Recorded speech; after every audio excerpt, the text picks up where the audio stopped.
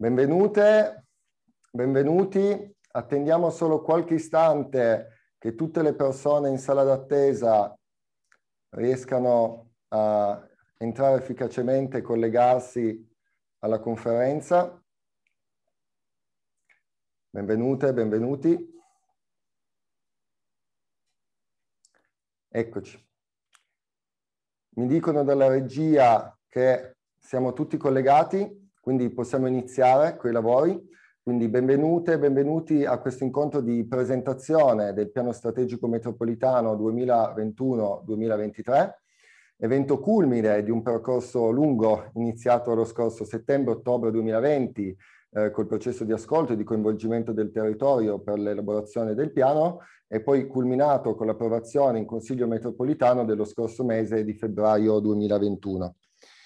Eh, prego la regia di mostrare subito eh, la slide relativa alla scaletta, perché quest'oggi avremo eh, un parterre di interventi che come potete vedere è molto fitto, otto interventi per una durata complessiva di due ore di conferenza, in cui verranno sviscerati tutti, tutti i temi riguardanti eh, questa nuova pianificazione eh, strategica 2021-2023. Si inizierà con i saluti eh, e l'introduzione del consigliere delegato Dimitri De Vita, a cui seguirà l'intervento del presidente della terza commissione consigliare della città metropolitana di Torino, Mauro Carena.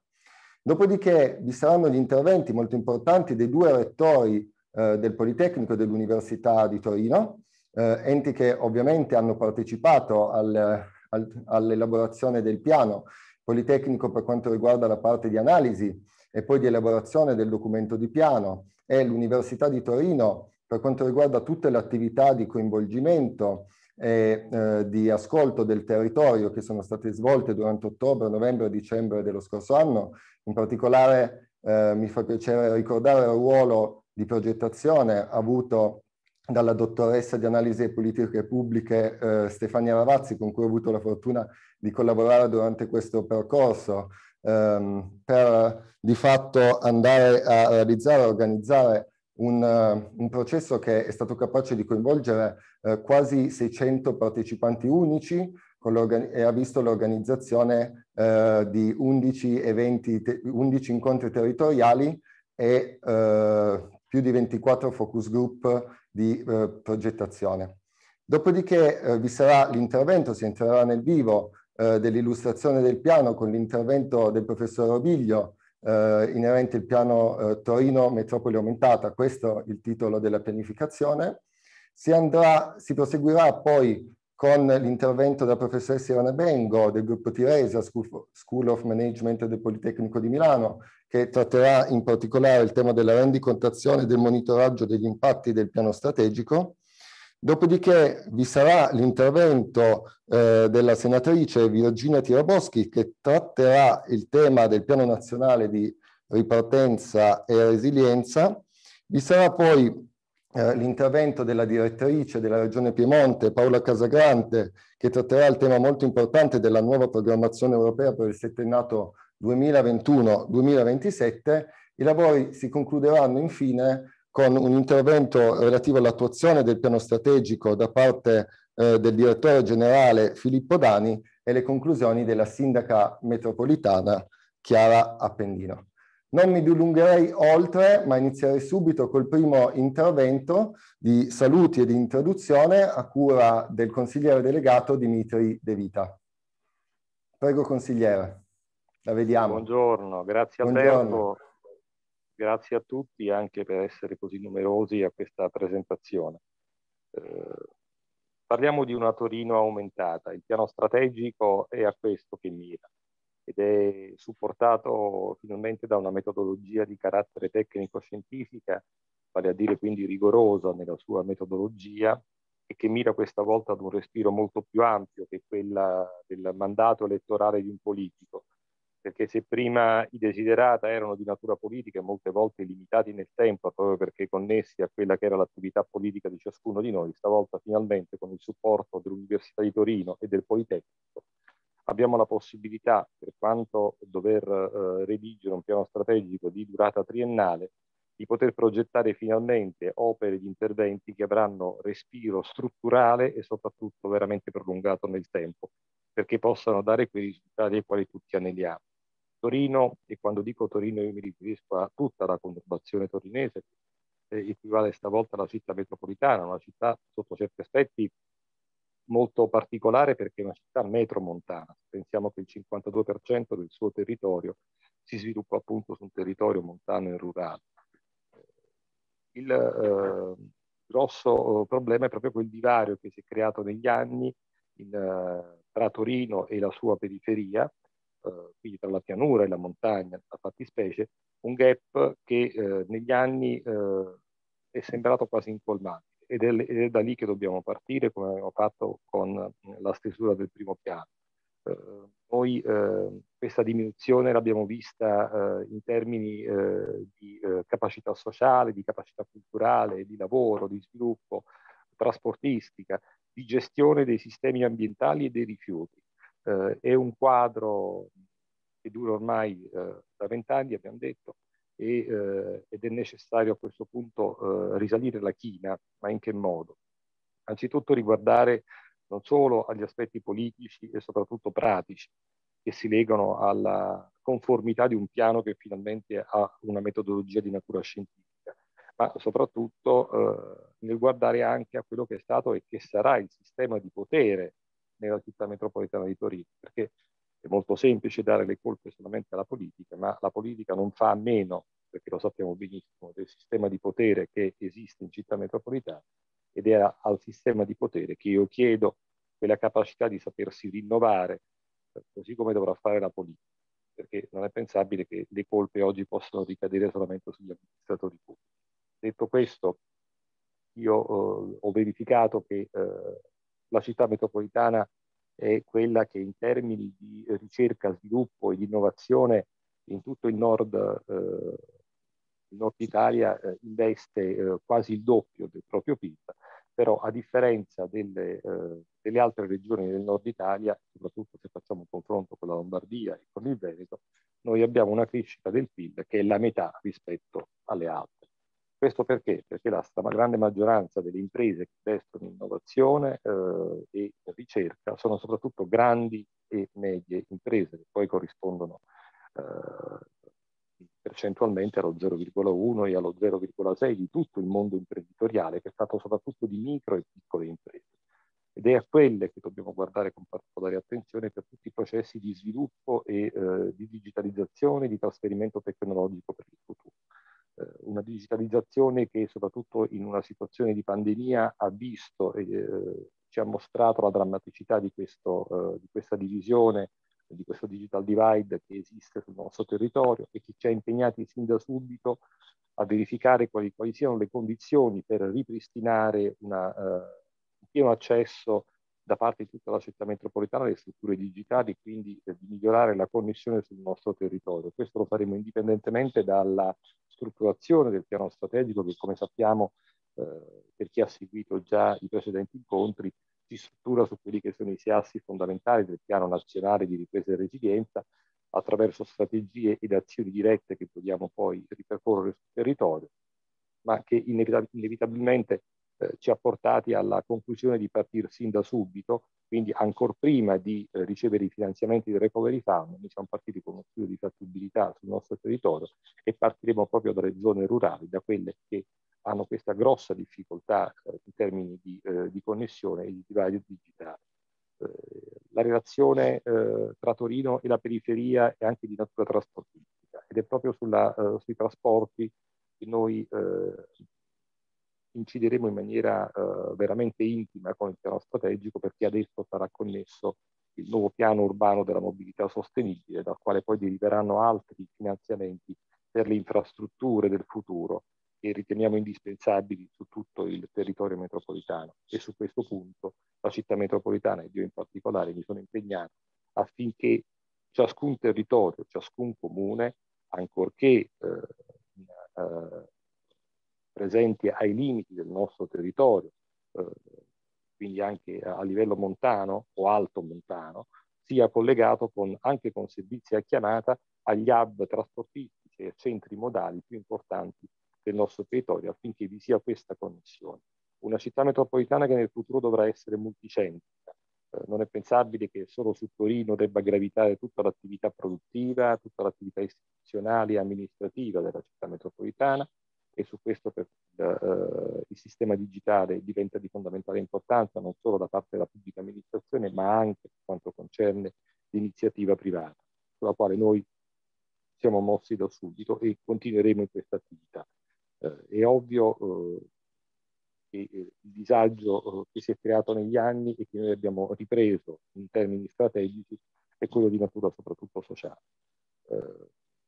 non ho visto una particolare attenzione da parte del Piano Nazionale di Ripresa e Resilienza sul terzo settore, che per me invece diventa fondamentale in termini anche di misurazione della partecipazione del privato, una misurazione che va valutata soprattutto per quanto concerne gli obiettivi da raggiungere. Ed è fondamentale che un'iniziativa pubblico-privata nel terzo settore, per colmare questo divario sociale che si è creato e che continuerà a peggiorare negli anni, se non interverremo da subito, necessita di un nostro intervento. Il uh, problema ambientale, ambientale lo conosciamo da tutti, è un problema di natura uh, interregionale, uh, che però non, non prescinde dalla trattazione del tema rifiuti. Il tema rifiuti c'è ancora molto da fare in termini di recupero, soprattutto e di riciclaggio delle, delle materie prime, eh, deve esserci un problema sicuramente di natura educativa, oltre che eh, economica, alla base di quello che non ci permette di raggiungere i livelli che normalmente sono raggiunti in altre parti d'Europa. Ed è su questo che bisognerà naturalmente attivarsi. Io mh, adesso, eh, per quanto voglio concludere rapidamente e dare la parola a tutti gli altri relatori, un'ultima considerazione devo fare necessariamente sul mondo del lavoro e del mondo del lavoro giovane. Eh, il tema eh, dell'apprendistato eh, è un tema che va rivalutato e va rivisto, soprattutto sotto l'aspetto pubblico, perché se non si facilita l'apprendistato in termini economici presso le aziende, noi non avremo la possibilità di far entrare nel mondo del lavoro tutti i nostri giovani. per questo io credo che debba esserci un intervento sovra metropolitano, sovra regionale, che non può più essere nazionale, che eh, agisca a livello territoriale soprattutto per quanto concerne il finanziamento del, dell'apprendistato presso uh, le aziende. Ci troviamo molte volte di fronte a giovani che pur avendo compiuto il loro percorso uh, preparatorio al mondo del lavoro uh, non corrispondono in termini mansionari a quelle che sono le richieste, le nuove richieste delle aziende. E su questo credo anche che sotto l'aspetto della formazione qualcosa in regione vada rivisto alla luce di quelle che sono le figure professionali che a tutt'oggi non vengono, eh, non vengono trovate. Sempre a livello multicentrico eh, reputo fondamentale l'attivazione di veri e propri centri di matching del lavoro, vale a dire eh, le, eh, le, cosiddette eh, eh, ville de travail che sono state create in Francia, veri e propri centri aperti all'incontro tra eh, mondo del lavoro e chi cerca lavoro. Queste sono attività eh, per le quali abbiamo, dobbiamo trovare dei grandi spazi al chiuso, eh, strutturarli, ma eh, pensiamo che debbano necessariamente essere predisposti al di fuori della cintura torinese proprio per rilevare eh, l'importanza eh, di quella che è la multicentricità del nostro territorio auguro buon lavoro a tutti, eh, sono particolarmente lieto che il piano sia stato approvato, è finalmente un piano di lungo respiro, eh, aspetto naturalmente eh, eventuali eh, note eh, a quello che eh, sarà detto e in termini tecnici approfondito soprattutto dal professor Robiglio del Politecnico. Grazie a tutti. Grazie a lei, consigliere. A questo punto darei la parola per il secondo intervento a Mauro Carena, presidente della terza commissione consigliare della città metropolitana di Torino. Prego, Presidente. Buongiorno, innanzitutto buongiorno a tutti. Eh, credo che questa assemblea assolutamente qualificata, estremamente importante, debba avere, eh, come dire, subito una chiarezza su, su, quello che è lo scopo, su quello che, che è il fine ultimo di questo piano. Il primo è trovare come fine uno strumento per gli amministratori. Gli amministratori oggi lo sanno, che pur essendo in gamba, pur essendo persone che si sacrificano, che tolgono tempo al loro lavoro, che tolgono energia alla loro vita privata, alle loro famiglie, mancano sovente di strumenti, sono esposti a molti rischi, sono esposti a grandi responsabilità, ma sovente non ci sono strumenti né finanziari e neanche studi e neanche teorici per poter intervenire, per poter lavorare, per poter fare quello che deve fare un amministratore, cioè progettare, perché noi siamo lì non per riparare una strada o per semplicemente fare una manutenzione, per questo bastano i tecnici, la politica, gli amministratori hanno un altro ruolo, che è quello di progettazione. Allora ben venga il ruolo che anche in questo piano è stato determinante dell'università, ben venga il ruolo del mondo del lavoro, ben venga il fatto che università e mondo del lavoro rimanendo ognuno se stesso, quindi distinti, abbiano avuto però la capacità di lavorare insieme e abbiano la capacità di dare il proprio apporto e di avere un'interconnessione che sovente, che sovente il mondo accademico anela e il mondo del lavoro si aspetta.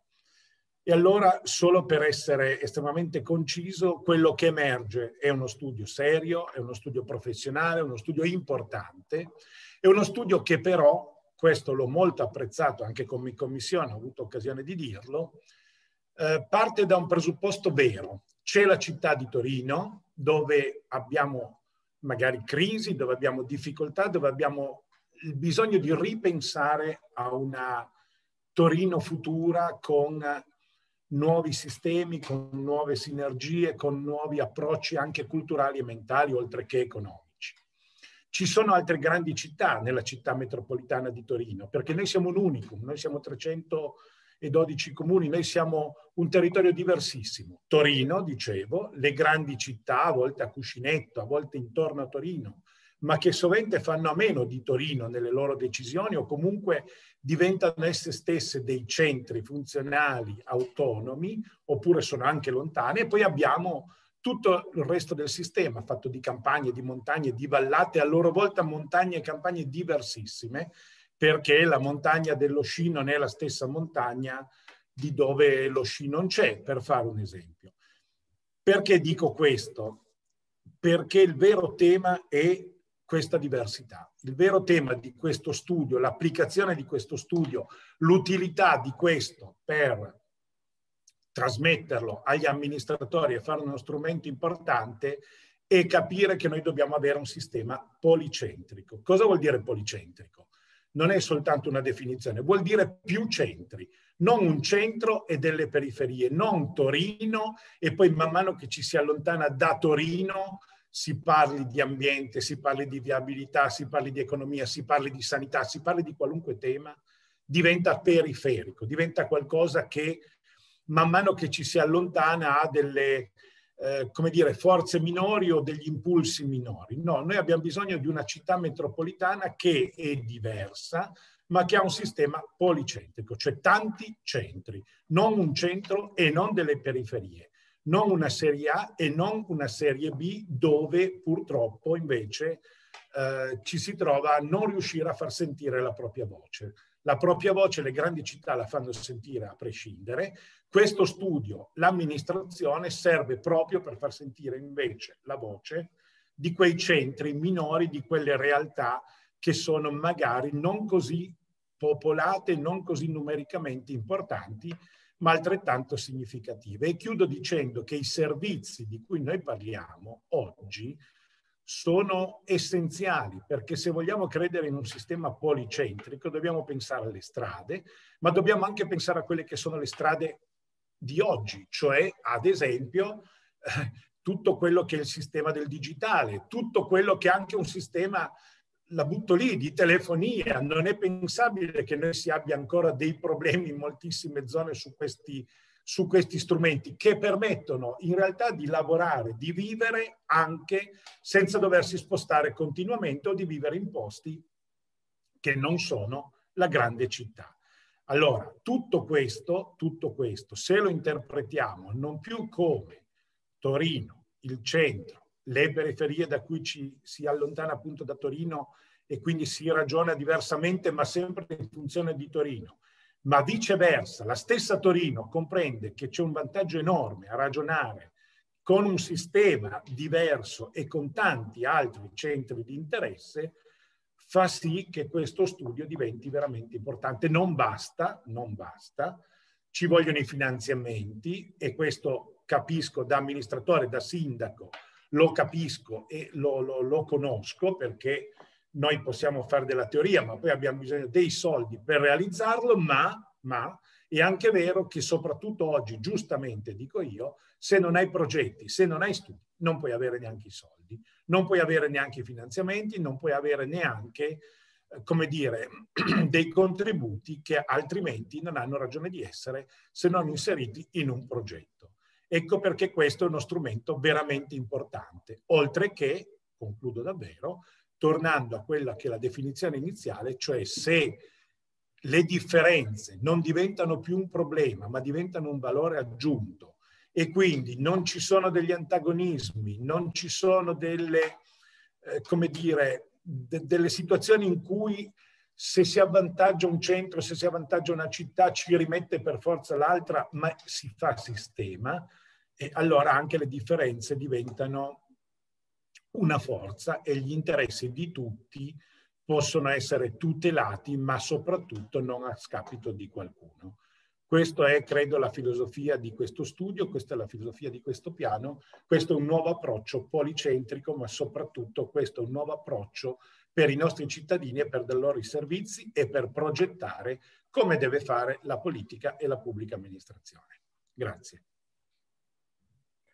Grazie a lei, eh, Presidente Carena. A questo punto proseguirei con gli altri due interventi, gli interventi a cura degli Atenei della città che hanno supportato e hanno avuto un ruolo fondamentale in questo, il processo di elaborazione del piano, iniziando dal Politecnico di Torino, che eh, di fatto ha condotto poi le analisi e l'elaborazione stessa del documento della pianificazione, per cui è presente la prorettrice, la professoressa, Patrizia Lombardi, che ringrazio, eh, per un suo saluto e un suo commento.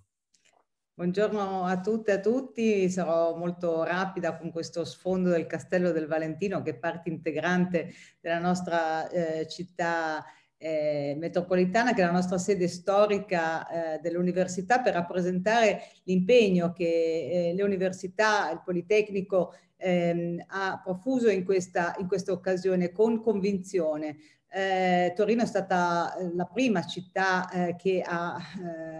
iniziato la stagione dei piani strategici, mai come in questa situazione storica è fondamentale eh, un rinnovamento e una, eh, la realizzazione di un piano strategico e credo che eh, oggi appunto eh, abbiamo l'opportunità di eh, come dire, presentare questa, in questa occasione eh, il nuovo piano strategico fondamentale eh, per dare questi, questi indirizzi eh, di, di, futuro. Sono quindi molto orgogliosa di eh, poter eh, prendere parte a questa eh, occasione, a questo battesimo del, del, piano, del piano, strategico eh, come prorettore e, e anche diciamo come ambito disciplinare molto vicino a questo, a questo settore. Quindi ringrazio veramente molto ehm, per la realizzazione di questa, ehm, di questa azione sinergica, perché come eh, dicevano i precedenti interlocutori è fondamentale un'azione di partnership, mai come adesso, per poter realizzare queste, eh, questa nuova transizione in cui eh, la città, il territorio eh, che ha sofferto molto, eh, molto più di altri in, eh, in questa eh, in questo um, periodo di, di, di, pandemia possa eh, rivedere un futuro e una, uno scenario di sviluppo coerente. Eh, le università in questo senso eh, giocano sicuramente un ruolo importante, noi non ci tiriamo indietro e abbiamo dimostrato anche in questa occasione dell'importanza eh, di fare squadra, di cooperare e di supportare ehm, gli enti locali territoriali nella realizzazione di, questa, eh, di questo strumento, con al centro eh, le persone, con al centro le imprese, i servizi, le direzioni eh, di sviluppo, la connessione con ehm, tutta l'area territoriale, perché siamo l'area metropolitana più grande, più estesa eh, d'Italia e, eh, e, queste connessioni, queste eh, sinergie eh, sono ben evidenti. Quindi grazie per questo invito e, e grazie eh, per questa occasione di collaborazione ehm, con, con grande convinzione e grande eh, orgoglio, eh, ringrazio tutti eh, per questo eh, grande sforzo. In bocca al lupo. Grazie mille ancora, prorettrice. Eh, a questo punto darei la parola eh, all'altro Ateneo, al magnifico rettore Geuna eh, dell'Università di Torino che eh, in particolare ha supportato l'elaborazione del piano eh, con le azioni di coinvolgimento e di ascolto del territorio. Quindi Grazie. Grazie, sì, ma io ho anche due parole chiave per, per, salutare, dare anche uno spunto. Il primo, come diceva Patrizia, prima collaborazione, collaborazione tra Atenei al servizio del territorio. Qui direbbe eh, il rettore Saraco un progetto che è partito a guida Politecnico ma che ha visto entrare eh, subito, fin dall'inizio, anche colleghe e colleghi dell'Ateneo, in particolare relativamente al processo di cosiddetta democrazia partecipata, a cui io tengo molto, che sto cercando di importare anche all'interno dell'Ateneo e, e, e in generale, quindi credo che ci sia stata una sinergia senza rivalità, ma tutti cercando di portare i propri contributi per il bene comune, quindi per il bene in questo caso di un piano strategico che riguarda la casa, l'ambiente nel quale viviamo tutti e insistiamo. E, e, a questo mi collego sulla seconda parola chiave che mi è piaciuta moltissimo, l'ho sentita eh, da chi mi ha anticipato nel, negli interventi, il termine policentrico. Ecco, questo è un termine che ho proprio voluto mettere nel, nel progetto di elaborazione del piano strategico che sto portando avanti anche dell'Ateneo. Eh, fino a, al passato, all'anno scorso, si tendeva a parlare all'interno dell'università di sedi metropolitane ed extrametropolitane. Ecco, io ho proprio voluto abolire questo termine metropolitano e extrametropolitano per parlare di, di sedi policentriche. Eh, ovviamente l'università come Politecnico nascono e insistono nella loro principale quantitativamente presenza nella città di Torino. Ma se parliamo in particolare dell'università, ormai, come ben sapete, le nostre sedi, e non parliamo di piccole sedi, insistono in, in molte altre città della, della, della, città metropolitana, dell'ex provincia, quindi Grugliasco, Bassano, Venaria, eccetera. Quindi siamo già sul territorio e, e quindi le, le sedi che non sono strettamente legate a Torino non sono extra qualcosa, ma sono parte di un sistema multicentrico, policentrico, che, che fa proprio del, del multi, multicentrismo la propria forza. Ma questo multicentrismo e poi l'apertura un, non è che ci sono le città, i comuni dove c'è l'università, dove c'è il Politecnico e quelli dove non c'è. In realtà la nostra ambizione, ma non perché vogliamo essere così, voler colonizzare, ma è veramente essere dappertutto. Se pensiamo a quello che è la sfida della formazione di oggi, ovvero eh, la formazione anche esperienziale, pratica, quindi tirocini nelle aziende, nei territori, nelle istituzioni. Ecco, la sfida che noi abbiamo davanti sono eh, le esperienze, il colloquiare con tutti gli attori di un territorio grande, importante, eh, molto differenziato come la nostra città metropolitana. E quindi non, non, non, ci fermiamo, il, il multicentrismo, il policentrismo vuol dire veramente capillarità di presenza eh, anche nei comuni più piccoli dove magari insiste una certa attività, una certa eh, iniziativa che può essere esperienza formativa per le nostre studentesse e i nostri studenti, anche in un'ottica in un'ottica internazionale. Oggi noi stiamo lanciando, come anche il Politecnico, insieme importanti progetti di rural Erasmus cosiddetti. Quindi l'idea che l'Erasmus non è semplicemente andare nella capitale, nel capoluogo, ma è andare, ed è quello che veramente forma non solo studentesse e studenti dei nostri Atenei, ma magari anzi e soprattutto studentesse e studenti che provengono da tutta Europa e dal mondo che, che, hanno da imparare qualcosa andando a fare i propri tirocini e le proprie esperienze eh, eh, all'interno non solo appunto della, del centro o poco più della città, ma di tutta la grande ricchezza del nostro bellissimo territorio, portandosi poi a casa eh, delle esperienze importanti e portando anche a noi, perché ovviamente negli scambi, soprattutto internazionali, eh, tutti guadagnano, sia chi, chi viene a imparare, ma, ma, impariamo anche noi da chi viene a imparare. Quindi eh, bene il, ci piace un, un, progetto, un piano strategico di città metropolitana che abbia nelle sue corde proprio questa dimensione. Buon lavoro e complimenti. Grazie mille. Ancora Rettore, a questo punto entrerei nel vivo di questa presentazione dando la parola al coordinatore del gruppo di lavoro che ha supportato l'elaborazione del nuovo piano strategico, il professor Matteo Robiglio eh, del gruppo FUL e del Politecnico di Torino. Bene, buongiorno a tutte e a tutti, eh, grazie Alberto e grazie a chi mi ha preceduto per, per, quello che ha detto e per avere già molto introdotto e grazie al, al gruppo di lavoro eh, che qui rappresento e che ha eh, intensamente costruito questa, questa visione e l'ha costruita condividendola con il territorio. I, la prorettrice e il rettore hanno già eh, detto qual è stato il nostro ruolo, io lo vedo come un ruolo di eh, facilitazione di chi ha in qualche modo dato forma collettivamente a quello che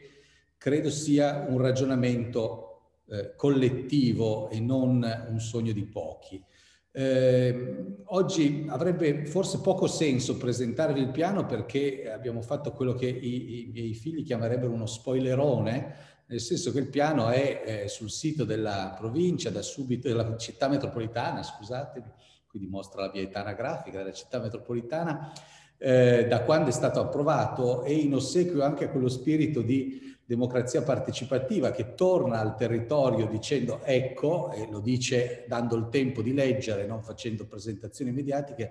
lo abbiamo addirittura poi mh, messo sui, sui, giornali scaricabile con un semplice QR code, credo sia uno dei primi piani territoriali eh, eh, che, a cui posso accedere avendo letto la, la, la cronaca sul giornale, c'è stato anche un certo dibattito. Quindi io parlo di un documento eh, ormai eh, conosciuto e che eh, ha una grana molto fine e che quindi richiederebbe molto tempo e sarebbe estremamente noioso eh, entrare eh, nel dettaglio di ognuna delle singole azioni. Alcune saranno fatte, altre non lo saranno, altre resteranno degli slogan, ma la cosa importante è che nell'insieme, poi ci tornerò, vi sia un movimento nelle direzioni che il piano eh, che il piano ha provato a tratteggiare, a cui ha provato a dare forma. Oggi vorrei tornare da una parte a prima del piano, alla visione, all'elemento eh, che a un certo punto eh, prova a dire ma dove vorremmo andare e dall'altra parte al tema dell'attuazione che credo poi sia quello che preme a tutti e, e da bravi eh, eh piemontesi ci chiederemo va bene ma adesso questo, di tutto questo cosa ne faremo? Allora, eh, condivido con voi lo schermo non per fare il, il professore che presenta, eh, che fa lezione, ma perché ho bisogno di qualche appoggio. E eh, che cosa... Ehm, dunque, come faccio ad andare avanti? Qui c'è sempre il tema. Ecco, andiamo. Perfetto. Ecco, noi parliamo, lo, lo, è stato detto all'inizio, è stato detto dal, dal, dal consigliere dal, De Vita e dal presidente Marengo, un territorio che è forte e bello, voglio anche dire per la sua diversità, che abbiamo raccolto fin dall'inizio in queste due immagini estreme. La città densa, ma anche la più verde d'Italia e una delle più verdi d'Europa, quella in cui la natura, grazie alle aste fluviali, ai boulevard barocchi, entra dentro la città ed è esperienza quotidiana, e dall'altra parte la montagna abitata, la montagna insediata. In mezzo a questi due estremi sta tutta la straordinaria varietà di paesaggi, di spazi, di attività, di economie, di società locali che fa la forza, a mio avviso, di questa città metropolitana. A volte è stata vissuta come un elemento di fragilità, siamo troppi, siamo troppo diversi, come si fa a fare una città metropolitana che ha dei piccolissimi comuni montani e poi ha uno al più grande centro manifatturiero d'Italia? Ecco, proprio questo è quello che noi siamo e eh, la cosa che, che, che, mi piacerebbe è che questo piano eh, fosse un momento in cui ci riconosciamo prima di tutto come questo e riconosciamo in questo la direzione in cui, in cui vogliamo andare. L'abbiamo estremizzata anche in questa rappresentazione provocatoria in cui è rappresentato il suolo insediato e il suolo invece aperto, aperto ma antropizzato, umanizzato, un suolo coltivato, un suolo frequentato, eh, quindi non è eh, la città eh, piena e la città vuota soltanto, ma è il denso e lo spazio della natura. Anche questo il Covid ci ha insegnato forse eh, se ne avevamo ancora bisogno, quanto è importante questa sinergia tra questi due spazi che qui provocativamente abbiamo rappresentato con il verde usato per l'urbanizzato, al contrario di come facciamo di solito noi urbanisti, e il rosso per il meno urbanizzato.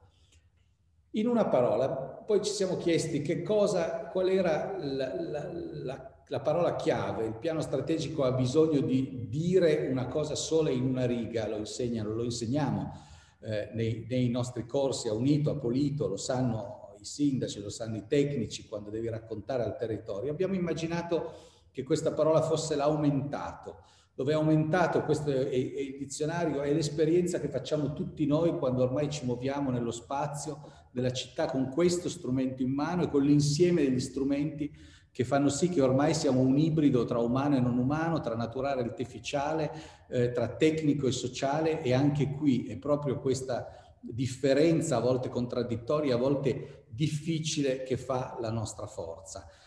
Che cosa vuole dire però concretamente aumentare? Perché è interessante? Perché gli economisti ci insegnano, e lo dicono anche gli economisti e i sociologi i geografi che hanno lavorato alle analisi del piano, che la digitalizzazione è l'ultima rivoluzione industriale, ma è quella che meno delle precedenti nella storia lunga di un territorio come il nostro ha scaricato a terra in termini di occupazione, in termini di ricchezza, in termini di aumento di produttività. È rimasta ancora una promessa da cogliere. Eppure questa rivoluzione incompiuta, se collegata a un territorio, e questa è l'ambizione di questo piano, se innervata, può produrre uno straordinario impatto economico, può finalmente diventare, se veicolata alle piccole e medie imprese, se veicolata ai mondi dell'agricoltura, della montagna, ai mondi del turismo in modo compiuto, non è, non è che non abbiamo fatto niente, ma non l'abbiamo fatto al, al massimo delle possibilità, può produrre un forte incremento di produttività, di ricchezza, di qualità. E un aumento anche industriale. Vedrete poi tutti gli oggetti che in qualche modo diventano parte della realtà aumentata appartengono nella stragrande maggioranza a cose che siamo bravi e forti a produrre, robotica, eh, elettronica, meccatronica, tecnologie avanzate, eh, informatica, cioè cose che sono dentro il DNA di questo territorio e che questo piano ha l'ambizione di scaricare a terra anche facendo di questo territorio un campo di sperimentazione, di applicazione e di sviluppo di competitività industriale a tutte le scale di impresa. È un aumento territoriale perché per la prima volta con l'esperienza forzata di digitalizzazione massiva che la pandemia ci ha obbligato a fare, abbiamo capito che forse è possibile ripensare la struttura insediativa, che forse è possibile che lavorare in, mont- lavorare in montagna non sia una diminuzione, non sia una rinuncia a certi servizi, ma sia un'altra forma di abitare metropolitano, diversa ma è uguale nelle opportunità. Abbiamo provato a dire questo con la locuzione metropoli di 90 minuti, che è l'equivalente della grande Torino, della città di 15, di 15 minuti di cui parlano molti sindaci. Perché questo? Perché avremo in futuro sempre più una dimensione di prossimità, i 15 minuti, e una dimensione di pendolarità non quotidiana che può quindi espandersi e se voi contate i 90 minuti di trasporto pubblico, la geografia accessibile della città metropolitana è improvvisamente dilatata e siamo già completamente immersi in questa realtà. Ed infine sociale, perché è possibile attraverso la realtà aumentata, attraverso l'aumento tecnologico in primis dei servizi erogati al territorio, superare quel tradizionale, quel tradizionale divisione, stavo usando un divide, ma anche quella separazione tra centro e periferie e davvero essere una metropoli policentrica in cui le diversità non vogliano dire rinunciare a qualità dei servizi. Pensate alla possibilità, per citare solo due casi, della teledidattica di cui stiamo facendo esperienza, ma in condizioni di emergenza o della tele, telemedicina. Queste sono le quattro ricadute del, dell'aumentare. E quindi eh, che cosa eh, possiamo... Scusate, eccoci. Cosa vuole dire? Ci siamo disciplinatamente orientati sugli assi del PNR e abbiamo provato a questi assi a dare una forma, una visione. Eh, sta andando troppo veloce, scusatemi, devo riuscire a governare la mia presentazione, ma saremo molto rapidi.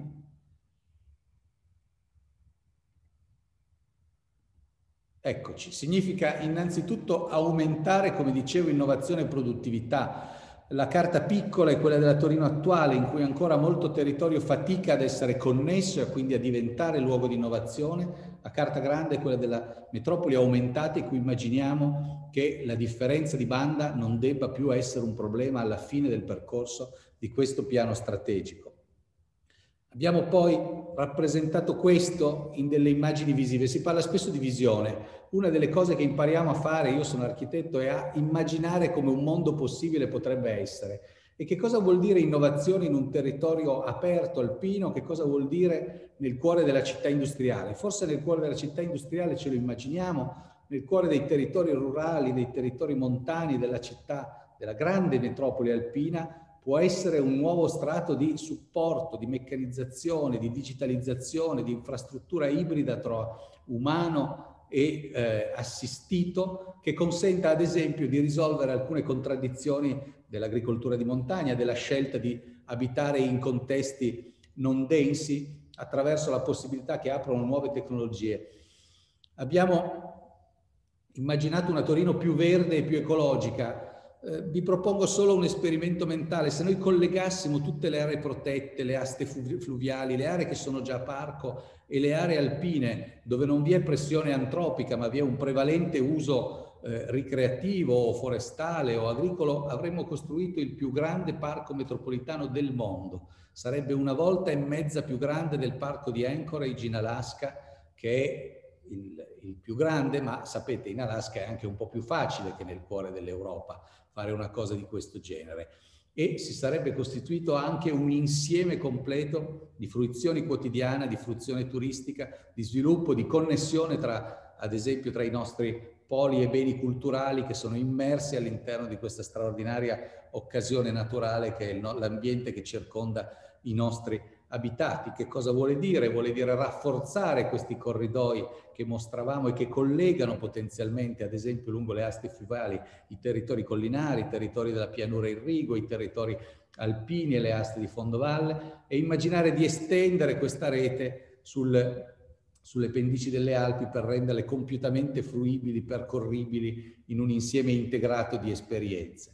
Abbiamo immaginato una metropoli mobile, accessibile e collegata in cui svolge per noi una funzione prioritaria il trasporto pubblico su ferro. Le stagioni politiche passate ci hanno consegnato fortunatamente, a partire dalle politiche preunitarie per arrivare fino al servizio ferroviario metropolitano, una robusta rete infrastrutturale di ferro che può essere attrezzata ulteriormente, qualificata, ad esempio facendo delle stazioni in tutti i luoghi dei nuclei di rigenerazione urbana, dei centri di servizio, dei centri di interazione sociale. Anche questa è una sfida a portata di mano, non oggi ma domani, e si rappresenta in luoghi di straordinaria eccellenza come può essere una stazione di Porta Susa attrezzata e multifunzionale, ma immediatamente connessa, come già oggi, alle stazioni eh, delle città della pianura, delle centri della collina e dei eh, centri vallivi serviti dal treno, eh, che rappresentano anche qui un'infrastruttura persistente che troppo abbiamo lasciato trascurata in questi anni. Una metropoli che impara di più, che ha al suo centro la formazione ed in particolare la formazione vocazionale, l'imparare a fare, la cifra che è cifra di questo territorio, che quasi nel suo codice genetico, che si tratti del fare industriale, del fare agricolo, del fare della cura degli altri, della cura del territorio e che quindi abbiamo voluto rappresentare in immagini di possibili luoghi di formazione in ambito industriale, magari dentro uno dei tanti contenitori che attendono ancora una vocazione, potrebbe essere il competence center, potrebbe essere qualcosa sull'area legna, ma anche in centri in cui la formazione ritorni in ambiente alpino. Vorrei, vorremmo avere un'ambizione che si rialzi la quota a cui viene erogata il servizio didattico di qualità nei nostri territori anche attraverso la teledidattica. In tutte le immagini vedrete che l'immagine di sinistra è contenuta nell'immagine di destra in un piccolo schermo, perché questo collegamento rompe la distanza qualitativa tra luoghi e fa essere il nostro territorio un unico territorio che apprende e che impara. E questa è una chiave fondamentale, forse la più importante per le nostre, per le nostre future generazioni. Più attrattiva, più giusta ed uguale, eh? quindi una, una, una metropoli che si prende cura e che offre cura e che di nuovo lo offre in luoghi urbani o lo offre in, in, luoghi alpini attraverso nuove infrastrutture, nuove architetture, magari mettendo a sistema le scuole, mettendo a sistema le stazioni, mettendo a sistema gli edifici esistenti e facendoli luoghi di un nuovo welfare urbano. Sono eh, immagini di una metropoli più sana, infine, che eh, collega intuizioni come quelle delle case della salute, di forme di erogazione territoriale, alcune ancora da scoprire, da reinventare. È un terreno difficile, lo abbiamo imparato e lo stiamo imparando nella nostra pelle in questa congiuntura pandemica, ma che avrà, potrebbe avere nel cuore della città della salute il suo hub per essere però centro della rete, non un luogo dove devo andare, ma un luogo da cui conoscenza, diagnosi, cura atterrano sul territorio sfruttando le opportunità straordinarie della telediagnosi, della, della telemedicina e riqualificando finalmente in forme nuove i servizi in territori che troppo spesso li hanno visti, ma non da ieri, dall'Unità d'Italia, diminuire e eh, retrocedere. Il piano, come vi ho detto, ha una grana molto fitta, questo diagramma rappresenta i sei assi e rappresenta tutte le singole strategie e le singole azioni. Abbiamo scelto una grana fitta perché fosse possibile individuare delle cose da fare, di quelle che scrivi la mattina quando dici ecco oggi vorrei cominciare a fare questa cosa e non delle azioni generali in cui poi è difficile capire se siamo andati avanti siamo, oppure non siamo andati avanti. Come lo leggete questo piano? Beh, come avrete visto è un, è, un, è un documento abbastanza complesso, ma due note di lettura eh, ogni azione è una scheda che ha una breve descrizione che cita gli attori coinvolti, gli strumenti riferiti, cioè situa questa azione dentro qualche cosa che è successo prima, una pianificazione precedente, delle decisioni pre già prese, degli atti già incamminati, indica degli attori e indica i development goals, cioè collega queste azioni a delle metriche. Ne parlerà poi dopo Irene Bengo del Centro Tirese del Politecnico di Milano, vogliamo un piano che possa essere accountable, come si dice, cioè può essere reso responsabile e misurato nelle sue performance in modo semplice e aperto. Ci pare questo, partecipazione, costruzione tecnica, eh, racconto e condivisione e infine attuazione e misura il percorso di uno strumento, eh, di una politica pubblica virtuosa. Mm, una nota, allineare i traguardi ai development goals, uno può dire ma e cosa serve? Non siamo mica le Nazioni Unite, serve ad adottare una metrica coerente tra i diversi attori e la metrica ad esempio che ha adottato Compagnia di San Paolo nei suoi recenti documenti strategici e che sempre più attori del territorio anche nei settori di impresa, o dell'amministrazione adottano. Significa collegare un punto anche remoto del nostro territorio alle grandi questioni globali, l'equità, la giustizia, il riscaldamento globale, la cura delle acque, la, il, il, il combattere l'esclusione, insomma i temi che abbiamo posto al centro della nostra agenda come esseri umani prima ancora che abitanti della città metropolitana. Il piano poi è anche una rete perché queste azioni si parlano, il territorio è uno e quindi quando proviamo a disegnare che cosa collega che cosa, otteniamo questo che non è un gomitolo ingarbugliato, ma è una struttura complessa, non complicata, che avendo pazienza si può percorrere e comprendere alla fine che uno è il territorio e uno è il, il, il grande movimento che dobbiamo essere in grado di eh, costruire. Come si attua tutto questo? Come si, si affronta? Si attua, beh, ne parlerà Filippo Dani nell'intervento giustamente conclusivo in cui ci dirà eh, di quale struttura, che struttura abbiamo immaginato, di quale struttura la città si dota per, per, per, farlo. Però vorrei dire qualcosa, oltre alla struttura di cui dirà Filippo, è il territorio che attua il piano strategico, perché questo è dall'inizio è stata questa l'indicazione forte della città metropolitana, del dottor Lupo, non è il piano dell'ente, è il piano del territorio, non avremmo altrimenti fatto perdere così tanto tempo e quindi è un piano eh, del territorio che è qui presente nella sua varietà e nella sua unità in una assise eh, vasta che credo non avremmo avuto se avessimo convocato una riunione reale anche questo è un buon segno dei tempi che stiamo attraversando e di alcune conseguenze positive di fenomeni come la pandemia che ne hanno avute tante negative. È un piano che si può adottare, di cui anche attori esterni possono decidere di intestarsi un'azione. In uno degli interventi più belli usciti in questi giorni, Don Peyron ha suggerito ma perché non lo adottano i giovani? Perché no? Potrebbe essere un piano che a pezzi viene attuato anche in forma decentrata, è un piano che si muove. Io credo che abbia anche già cominciato a diventare realtà. Vedo il centro dell'intelligenza artificiale come parte di questo piano. Vedo Torino, capitale dell'innovazione sociale, come parte di questo piano. Non erano cose che sapevamo prima di partire, ma abbiamo scommesso sui germogli perché una strategia ha un componente di volontarietà, di visione, ma anche un, una componente di opportunismo, lo dico in senso positivo, di cioè sapere cogliere le opportunità. E credo questo territorio, questa Torino metropolitana, questa Torino che vorremmo aumentata, non possa avere migliore opportunità davanti a sé di un uso intelligente, finalizzato e condiviso delle straordinarie risorse che il Next Generation EU ci metterà a disposizione nei prossimi anni. Vi ringrazio tutti per la vostra attenzione e ancora ringrazio eh, chi, tutti coloro che hanno dato un contributo questo piano sia nella sede di elaborazione tecnica sia soprattutto nella sede iniziale di condivisione. Grazie.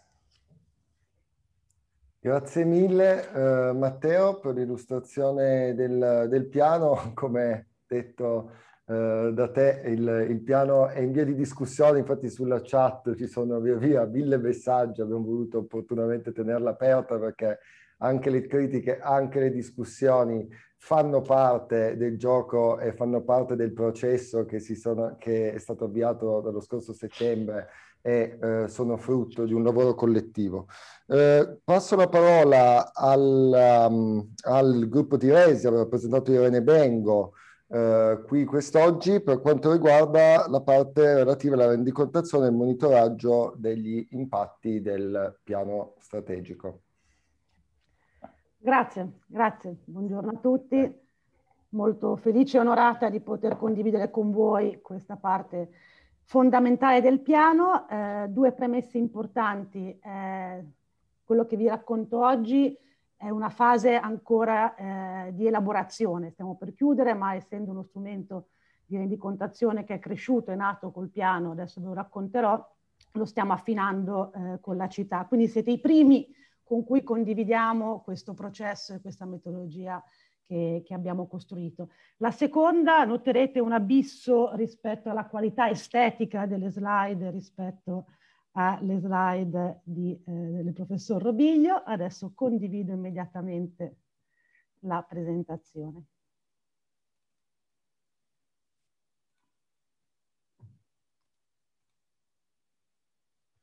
Bene, quindi eh, come abbiamo costruito tutta la parte di rendicontazione e monitoraggio degli impatti del nostro piano. Allora, due premesse fondamentali. Eh, lo strumento di rendicontazione eh, pensato è uno strumento di rendicontazione e per cui permetterà appunto di eh, dimostrare, condividere eh, i risultati ma l'abbiamo costruito e pensato non esclusivamente con una finalità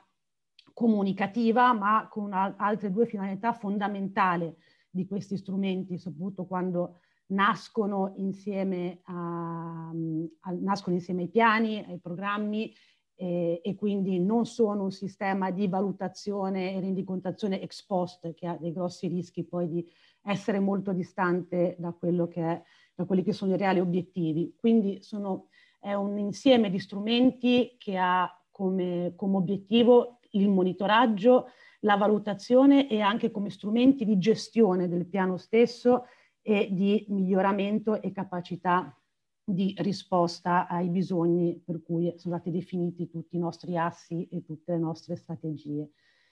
Quindi ehm, si compone di una parte di monitoraggio, che quindi è quella che ci permette di eh, tenere monitorato e eh, valutato e, e misurato soprattutto il livello di raggiungimento degli obiettivi che ci siamo dati. Una parte legata a strumenti invece di valutazione, per cui si riesce a intercettare il reale contributo che la città attraverso il piano dà in termini di cambiamenti e di raggiungimenti di obiettivi di breve, lungo e anche lungo e anche lungo. E qua introduco il concetto di impatto. Ad oggi non ci sono mh, diciamo, framework, metodologie condivise, consolidate di come si scriva un bilancio sostenibilità di un piano, di un piano metropolitano. Quello che però mh, abbiamo voluto integrare è il fatto di riuscire ad arrivare a misurare anche gli impatti, quindi non fermarci a dire abbiamo raggiunto dei risultati fondamentali e quindi ovviamente il sistema di monitoraggio risponde a questo obiettivo, ma abbiamo voluto fare il passo in coerenza con tutto quello che sta avvenendo, quindi il fatto che sia ormai riconosciuto che sia fondamentale endogenizzare l'impatto come dimensione di crescita dei programmi, delle politiche e, e, soprattutto di tutto quello che è legato a una capacità di risposta a bisogni territoriali di carattere sociale, ambientale e economico e in generale di, ehm, di sviluppo. Ehm, e ovviamente la terza anima è quella di eh, rendere poi tutto questo misurabile e eh, comunicabile a tutti gli attori fondamentali che hanno partecipato e che ovviamente saranno anche fortemente coinvolti anche nella parte di eh, rendicontazione e misura, del, ehm, misura dei risultati. Questa struttura fatta diciamo a tre cerchi concentrici assicura che eh, rimaniamo ben ben ancorati a quella che è, eh, chiamiamola mission sociale della nostra amministrazione, quindi appunto tutta l'anima eh, connessa al, alla sostenibilità e alla generazione di valore positivo, eh, positivo. Il fatto, come insomma anche già eh, sottolineato, di avere degli strumenti che assicurino la trasparenza e la contabilità dell'amministrazione e quindi che permettano di comunicare e continuare a coinvolgere tutti gli attori del territorio. L'abbiamo ovviamente a livello metodologico ehm, allineati con quelli che sono i riferimenti eh, ad oggi, quindi insomma gli obiettivi di sviluppo sostenibile come già anticipato. Ehm, e ripeto, abbiamo cercato di fare un po' un passo oltre e quindi di andare anche a intercettare e definire come misurare quelli che sono chiamati gli outcome e gli impatti, quindi i cambiamenti nel medio-lungo periodo. Di nuovo, strumenti che hanno, oltre alla finalità di rendicontare, sono strumenti di gestione. Quindi il fatto di potersi dotare, di eh, aver definito degli obiettivi, dei target, poterli misurare, monitorare, vuol dire continuare in un processo di miglioramento che permette, nel caso in cui sia necessario, ma anche in ottica di cogliere appunto possibili nuove opportunità, ho visto i cambiamenti rapidi che avvengono nel nostro sistema in questo momento, la capacità di poter riorientare, riorientare le strategie. Qua la parte di struttura, quindi abbiamo eh, definito un sistema di eh, monitoraggio che ancora una serie di indicatori alle 24 strategie e un sistema di valutazione quindi in ottica più di misurazione di outcome e impatti, che è ancorato ai sei assi che sono quelli eh, che ovviamente, insomma, sei assi di cui vi raccontava prima il professor Robiglio, ehm, a cui abbiamo ancorato delle dimensioni di cambiamento, quindi di outcome. Eh, fondamentale è il fatto che abbiamo utilizzato ovviamente degli indicatori riconosciuti e, e, ehm, e consolidati eh, come quelli che ci propone l'Istat, ovviamente con, già correlati a tutto il mondo dell'agenda 2030. E poi abbiamo creato degli indicatori che chiamiamo sartoriali, cioè creati eh, su misura per il nostro piano e soprattutto per il territorio, con due finalità. Una è il fatto di cogliere il, la parte di innovazione del, del, piano e in parte riconoscendo che alcune ehm, eh, azioni, dimensioni eh, proposte dal, dal, piano sono nuove, quindi se pensate a creare un indicatore sulla didattica a distanza, insomma, è la prima volta che si parla di come misurare il livello di didattica a distanza, quindi ehm, abbiamo voluto creare appunto questi nuovi indicatori, in parte fondamentale per riuscire a mantenere quel livello di innovazione e anche relazione fra le diverse dimensioni di valore. Ovviamente, a parte il set di indicatori, abbiamo creato quella che è la baseline, cioè quanto, dove era possibile, per esempio non per la didattica a distanza, che valore oggi hanno questi indicatori, in modo poi appunto da poter intercettare il cambiamento generato dal, ehm, dal piano. Ora vi faccio vedere delle tabelle ma esclusivamente ad esempio, nel senso che il numero di indicatori è un numero importante, Qua volevo farvi vedere come, per esempio, rispetto al primo asse, quindi l'asse legato alla digitalizzazione, innovazione e competitività del sistema produttivo, eh, per esempio un indicatore diciamo, ehm, sartoriale è il fatto che abbiamo individuato come KPI questo indice di competitività, il Global Talent Index, eh, è un indice che permette di misurare la capacità dei centri urbani di attrarre, coltivare e fidelizzare talenti, in cui eh, Torino oggi è la quarta città italiana e la 99esima a livello, a livello mondiale. Ovviamente sull'asse 1 questo è un indicatore, ce ne sono sicuramente ehm, altri, altri anche legati a tutta questa parte fondamentale di gestione del cambiamento che stiamo vivendo, quindi l'accesso ai sistemi di ehm, connettività, l'incremento ovviamente dell'accesso ai servizi digitali e anche degli indicatori che oltre a misurare il livello di accesso vanno a intercettare a sua volta che cambiamento ha eh, su altre dimensioni come la mobilità. E quindi troviamo un insieme di indicatori ehm, appunto legati agli effetti eh, di, eh, di una specifica dimensione. Quindi sono indicatori che oltre a mantenere la dimensione di relazione fra eh, valore economico, valore sociale e valore ambientale, eh, riescono anche a intercettare le eh, correlazioni fra i diversi assi e le diverse, e le diverse strategie. Eh, il secondo esempio indicatore invece un indicatore quello eh, legato all'asse 5, equità sociale e di genere territoriale, Vabbè, l'indicatore di tasso di occupazione è un indicatore consolidato, importante, quindi abbiamo anche tutto questo set di indicatori fortemente legati allo sviluppo economico e sociale, per esempio, e di cui abbiamo una baseline eh, strutturata, quest'altro asse, oltre con indicatori legati all'occupazione, va anche a eh, guardare indicatori eh, legati, per esempio, all'inclusione, eh, all'inclusione sociale, per esempio misurando l'intervento di prima, la capacità, eh, per esempio, di fare reti, partnership pubblico-private e sociali, il ruolo di attori come del terzo settore o imprenditorialità sociale o altri indicatori legati anche a riduzione del rischio di povertà e accessibilità a eh, nuove forme eh, dell'abitare. C'è un po' di sottofondo. Questa è invece la, una, una, modalità di comunicazione, una delle modalità con cui comunicheremo la parte sintetica, che è già stata ehm, ben, ben, descritta, che è quindi anche andare a, a misurare il contributo rispetto agli obiettivi di sviluppo sostenibile, per cui comunque la nostra il paese si è dato dei target, le città contribuiscono e quindi qua eh, si va a intercettare l'obiettivo primario che viene in qualche modo impattato dalle, eh, dalle strategie. Andando a concludere, eh, avendo, sperando di avervi dato un inquadramento di quelli che saranno gli strumenti concreti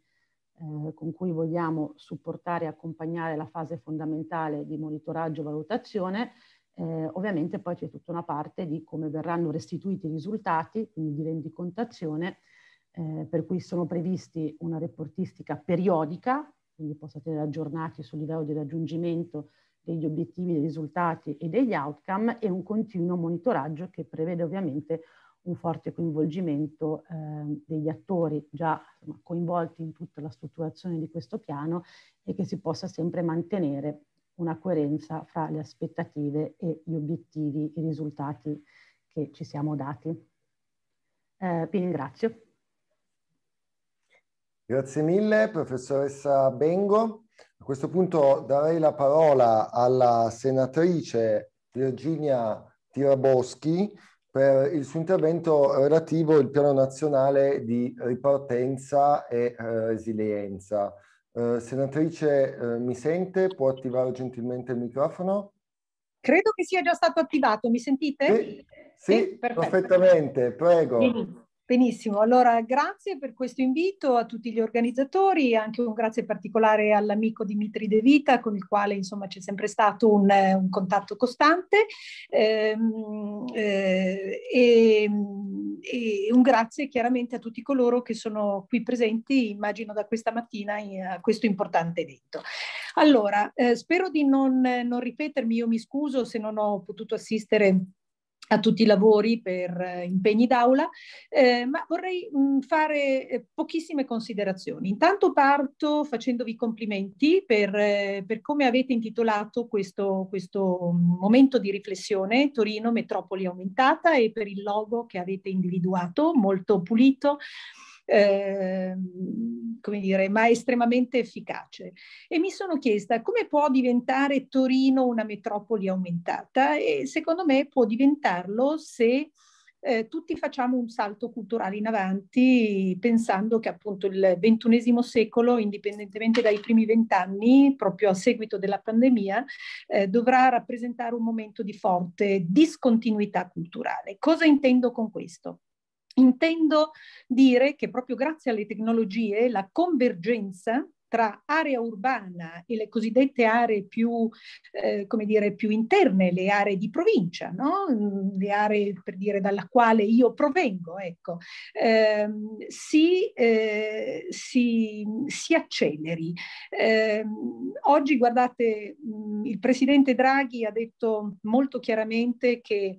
eh, chiaramente parlando del nostro territorio nazionale, che la convergenza tra il centro-nord e il sud deve essere un processo molto veloce e questo processo chiaramente mh, pensando soprattutto al sud no? e al divario che esiste rispetto al centro-nord, ehm, si colmerebbe molto più facilmente se oltre agli investimenti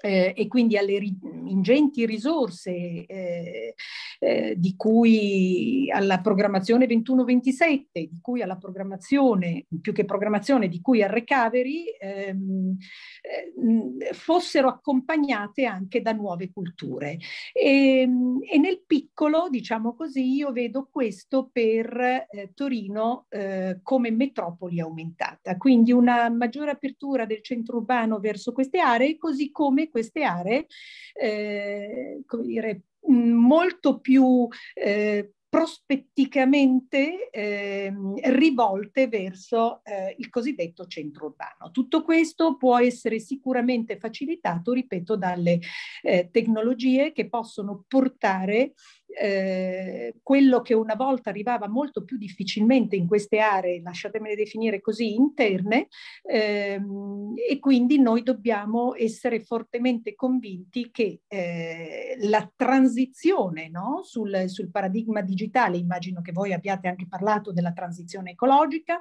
sono i due paradigmi che si ibridano e che rappresenteranno la scommessa di crescita importante del PIL del nostro paese e anche del PIL del, del, del territorio metropolitano torinese, ehm, eh, ripeto,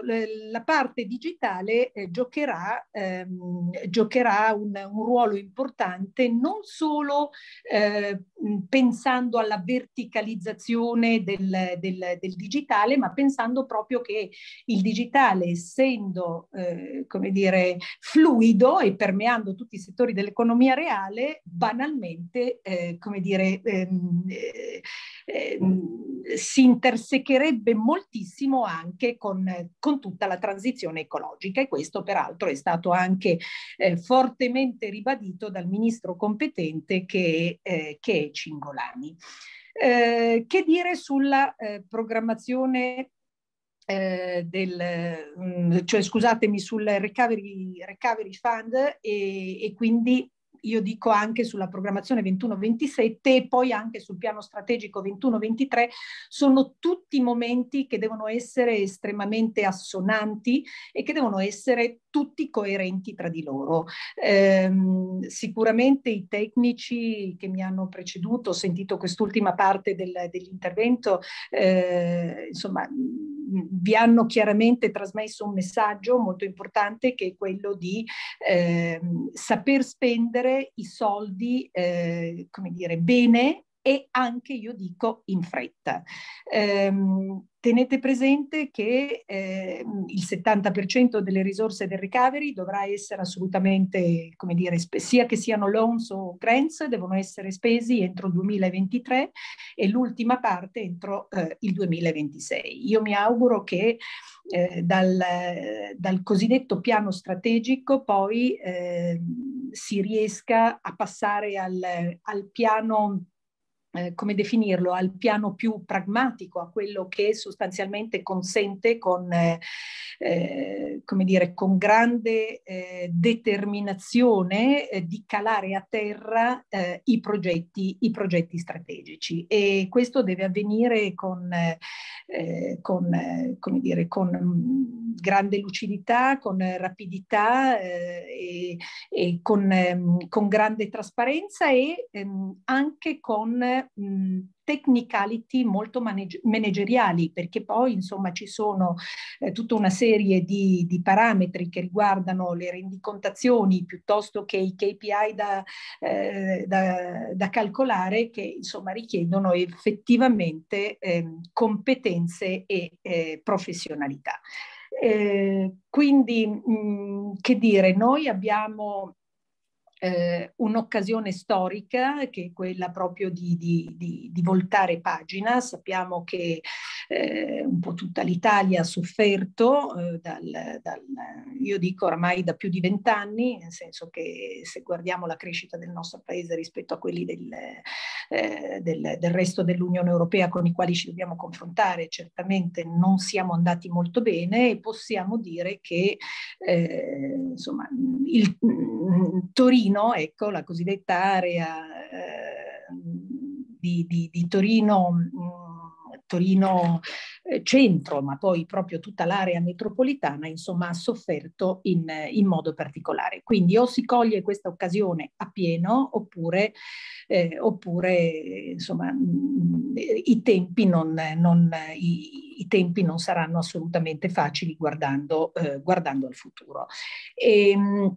e mm, ci sono tanti progetti eh, che, che, insomma mm, sono diciamo così ehm, in, in, stato anche già abbastanza avanzato, ci sono state tante persone che, che immagino hanno um, collaborato no? alla stesura di, di, di, di, questo piano strategico. Io mi sento di poter dire che anche eh, insomma, io rappresento, voi lo, forse non tutti lo sanno, ma insomma io rappresento una, una porzione del, del, del, mio collegio che sta proprio al, all'interno dell'area eh, metropolitana e ho un particolare attaccamento alla, alla, città, alla città, di Ivrea, ehm, eh, dove insomma stiamo proprio con, con con gli amici di Torino, ecco, con gli amici di Torino cercando di portare avanti una eh, come dire, rigenerazione di, eh, di, di un'area industriale che quella degli stabilimenti Olivetti, dove la progettualità contemporanea sul digitale si cala, eh, si cala perfettamente. Eh, ieri, eh, proprio in decima commissione, dove dovevamo esprimere un parere eh, sul, sul, PNRR, ho insistito perché eh, si eh, si evidenziasse, perché non era assolutamente evidenziato, eh, che Torino è stata scelta come, eh, come sede del, dell'Agenzia Italiana dell'Intelligenza Artificiale. E, insomma, questo fatto di non aver trovato nel PNRR questa, questa, dire, questa precisazione eh, mi aveva un po' preoccupata e, e quindi insomma abbiamo mh, voluto eh, come dire, puntualizzare ecco, questo aspetto oltre a tutti quelli più generici con, collegati alla, alla, alla, transizione digitale. Ecco, quindi eh, su, su, su questo fronte io credo che Torino potrà giocare un ruolo, eh, un ruolo a livello nazionale, ma non solo, ma non solo a livello nazionale, anche a livello europeo per conto dell'Italia è estremamente importante. Voi sapete che eh, l'Europa è, è, è, come dire, un po' acerba no? sul, sul, fronte del, dell'economia digitale, dobbiamo chiaramente io dico dobbiamo nel senso che noi siamo una parte molto integrata, no? noi italiani siamo una parte molto integrata con, con l'Europa, oggi peraltro Draghi l'ha ribadito molto chiaramente, ha detto che ci sono tre punti imprescindibili del suo mandato che sono il multilateralismo, l'Europa e eh, il patto atlantico. E, ehm, e, quindi in Europa noi insomma dovremmo eh, saper giocare il nostro ruolo e sull'economia digitale eh, è tutto da scrivere, tutto da costruire, quindi il nostro contributo credo che eh, possa essere estremamente importante. Quindi il ruolo che Torino può giocare, appunto essendo la città individuata ad ospitare l'Agenzia Italiana dell'Intelligenza Artificiale, posto che eh, deve essere molto chiara la mission di questa, di questa, di questa agenzia, ehm, sarà eh, un, un, passo, un, passo, importante nel, nella cosiddetta politica del Digital Compass che eh, peraltro il ministro Colau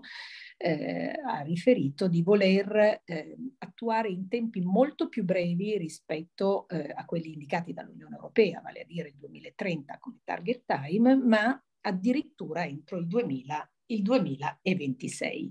Eh, molto ambizioso tutto quello che ha detto perché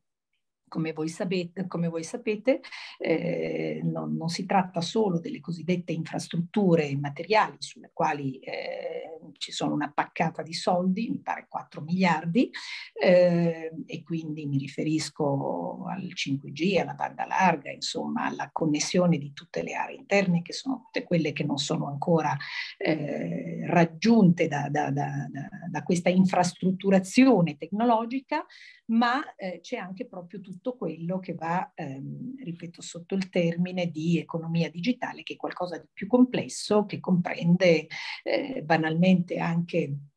non banalmente, che comprende anche la, la cosiddetta alfabetizzazione di, digitale che, che, non riguarda chiaramente solo la, la community in senso largo, ma anche eh, tutta la, l'attività che secondo me è estremamente consistente e che si sta ritardando troppo, io su questo sono sempre stata abbastanza critica nei miei interventi, ehm, di eh, reskilling e upskilling di, eh, di molte, come dire, di molte eh, molti uomini e molte donne che, che, probabilmente non svolgeranno più il mestiere che hanno svolto fino a prima della pandemia e che dovranno insomma, guardare eh, a, nuovi futuri, a nuovi futuri professionali. Ecco, ehm, quindi, ehm, come dire, c'è, c'è veramente c'è veramente molto da fare, eh, mo- molto da fare, ci sono tutta una serie di attività che secondo me sono molto sfidanti, molto sfidanti e anche eh, estremamente interessanti, nelle quali eh, io penso che il contributo eh, di c'è la mia amica, non so se è ancora collegata, la mia amica Alberta Pasquero, ecco, eh, che ha sempre detto mm,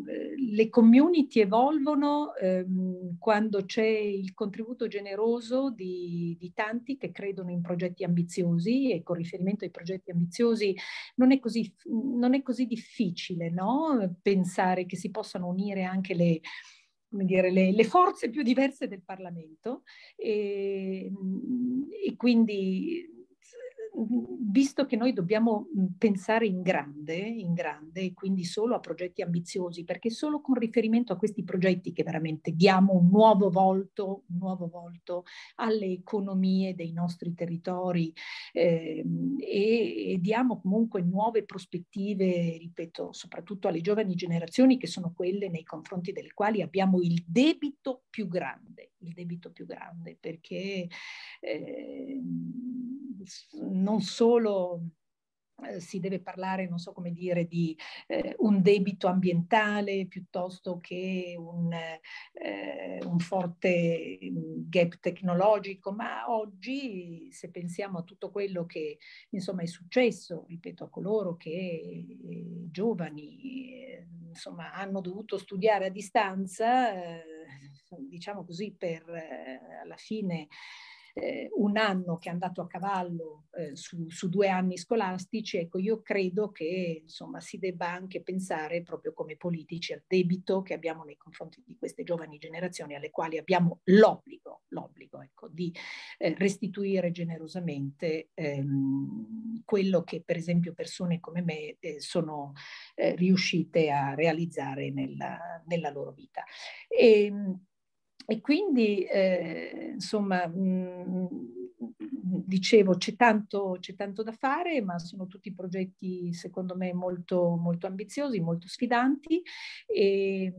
ed è intorno a questi che si, si, si devono coagulare eh, con... Eh, con delle formule che devono essere, eh, come dire, molto aperte, molto fluide, eh, molto, molto, ibridate, no? Ibridate sia di, di personalità, sia di, di, professionalità, sia di percorsi eh, formativi. Eh, i migliori, dico sempre i migliori, eh, che poi sta a significare quelli che insomma hanno, mh,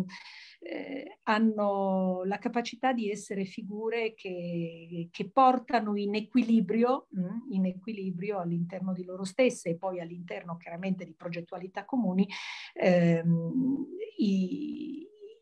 come dire, i, le azioni, le idee, eh, i valori più, più, più, forti, che sono proprio quelli, ripeto, attorno ai quali eh, si, si, si, costruiscono dei nuovi, dei nuovi modelli tutti stiamo dicendo che dobbiamo pensare a nuovi modelli di crescita e di sviluppo in termini discontinui, spesso io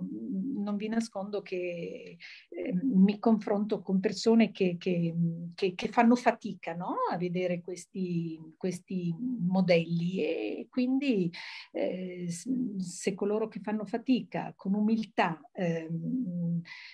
ascoltano chi fa un po' meno fatica, è per quello che dico che queste devono essere comuni community molto aperte che non devono badare, non so come dire, ai ruoli, eh, alle posizioni, agli incarichi, ma mh, mm, badare più, ripeto, ai contenuti, ai valori, alle idee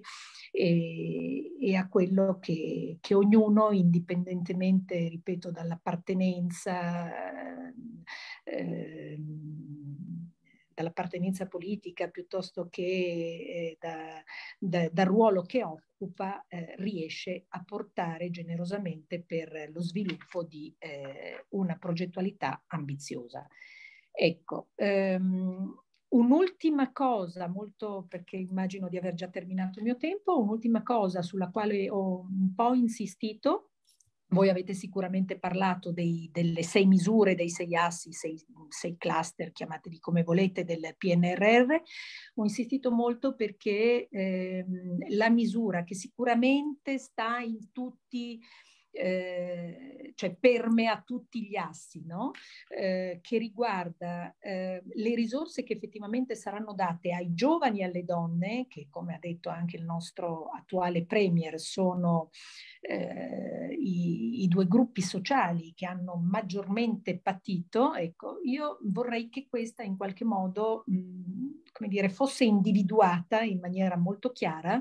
di modo che eh, le, le, le varie progettualità volte a sostenere, ripeto, i giovani piuttosto che le donne nelle loro attività di formazione costante, di imprenditorialità, di innovazione, di creatività e quant'altro, si possano anche mh,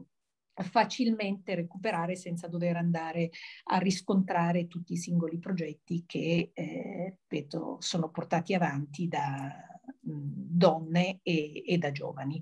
E, insomma, mi è parso, almeno all'interno della decima commissione, che, che questo suggerimento sia, sia, stato tenuto nella dovuta considerazione. Poi adesso vedremo eh, quale sarà il, il, documento, il documento finale che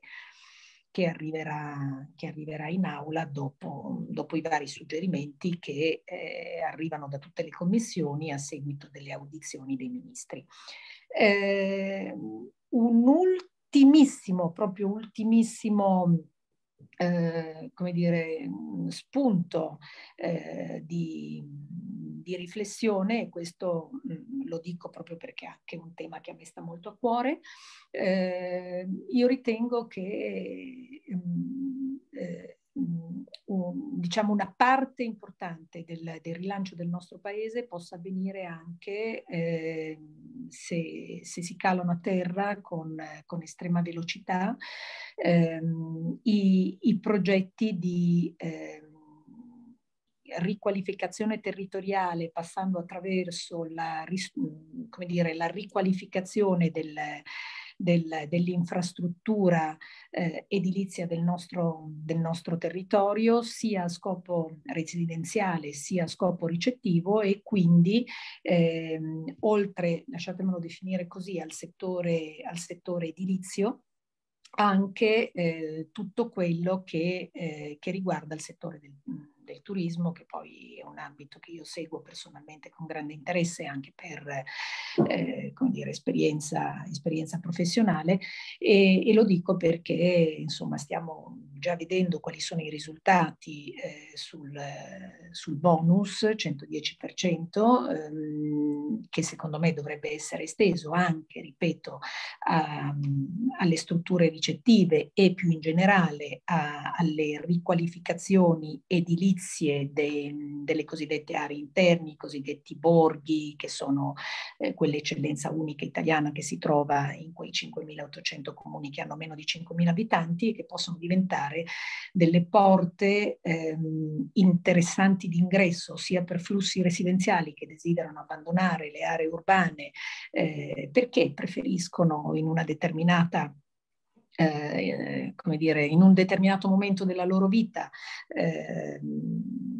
vivere ecco, in aree dove la qualità è migliore, la qualità della vita è migliore, perché magari c'è più verde, si può stare molto di più all'aria aperta e si può lavorare appunto grazie alle tecnologie eh, da remoto in queste aree piuttosto che trovarsi magari in centro città, in, eh, in, piccoli, in piccoli appartamenti. Peraltro io vi devo dire che questa è proprio una tendenza che mi viene confermata anche da, dalle, agenzie, dalle agenzie immobiliari. E, mh, e, e anche a scopo, a scopo turistico. Eh, c'è, c'è, proprio una, una, tendenza da parte dei, dei, flussi turistici, non solo nazionali ma anche internazionali, apro una parentesi, quelli internazionali prima che si riprendano ci vorrà un po' di tempo, eh, a come dire, vivere la, la experience italiana mh, mm, con eh, con chi conosce effettivamente bene il territorio e quindi con quelle famiglie o comunque con coloro che hanno eh, radici su, su, mm, su, territori che magari hanno dovuto abbandonare per ragioni di lavoro 20-30 anni fa e nei quali ritornano mm, in un certo periodo della loro vita per riviverli, eh, facendo anche accoglienza e, e comunicando come eh, ottimi ambasciatori quelli che sono ripeto, le, le caratteristiche peculiari di, di, questi territori. E c'è proprio la tendenza da parte di molti turisti a vivere queste, queste, esperienze, eh, queste esperienze di viaggio. Eh, secondo me, se appunto il turismo, che peraltro una delle industrie più digitali, lo era fin da 25 anni fa, no? quando pochi capirono la potenzialità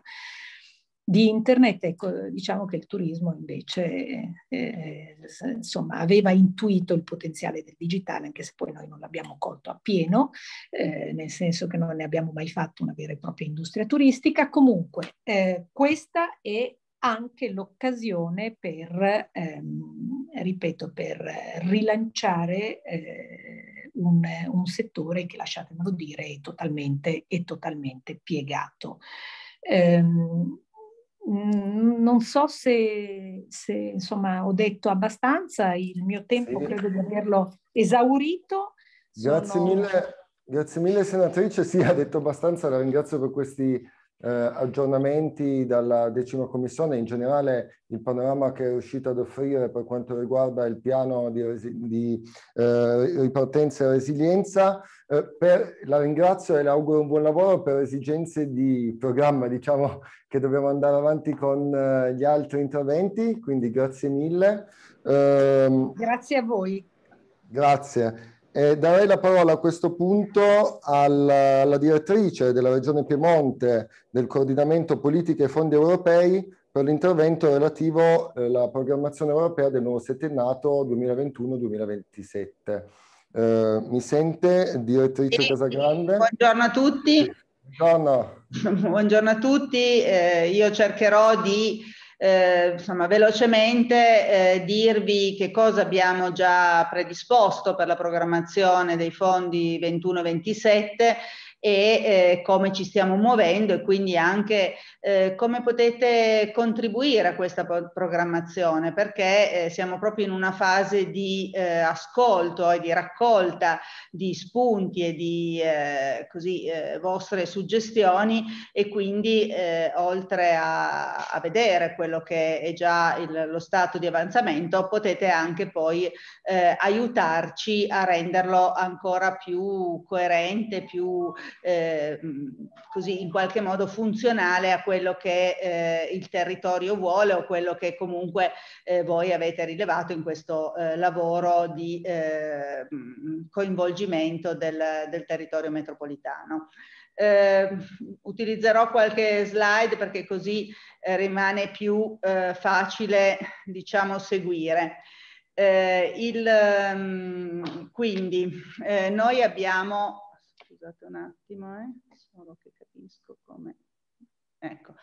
eh, noi abbiamo eh, cercato naturalmente in questa eh, prima fase di eh, considerare nella scrittura del nostro eh, documento strategico unitario, che è il documento diciamo base eh, per la nuova programmazione, tutti quelli che sono gli indirizzi strategici eh, che eh, l'Europa ci ha dato sotto diverse forme, quindi la strategia USALP, il Green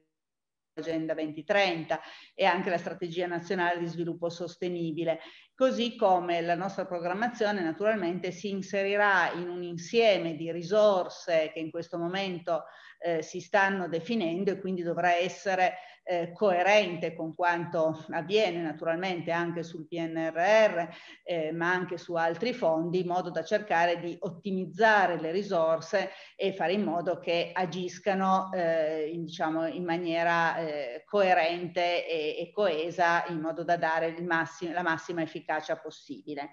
Um, il, documento uh, è stato diciamo, redatto con l'aiuto di IRES per la parte dei dati, eh, con le autorità di gestione del Fondo Sociale Europeo, del FESR, con l'autorità ambientale della Regione Piemonte e con tutte le eh, diciamo, direzioni regionali, con il coordinamento della direzione che ho l'onore di eh, dirigere. Eh, il documento eh, in questa prima bozza voi lo potete comunque eh, consultare e trovare su eh, un sito che è www.piemonte2021-2027.eu dove trovate tutta la documentazione che man mano produciamo. Questo è un documento che ha un centinaio di pagine, quindi poi io oggi cercherò di, di riassumermelo eh, velocemente, però eh, se volete poi andarlo a leggere lo potete leggere eh, tranquillamente. Eh, naturalmente, come dicevo, il documento tiene conto di tutte quelle che sono le, eh, le nostre le indicazioni che abbiamo a livello europeo, a livello italiano e anche il contesto socio-economico nel quale ci muoviamo, perché ovviamente le scelte che la Regione Piemonte farà saranno eh, legate anche a quello che sono i, eh, i dati eh, che eh, ci contraddistinguono. Quindi noi abbiamo preparato questa prima bozza di lavoro, adesso siamo in una fase di consultazione del partenariato regionale, infatti abbiamo fatto gli incontri sulle varie province con tutti gli stakeholder,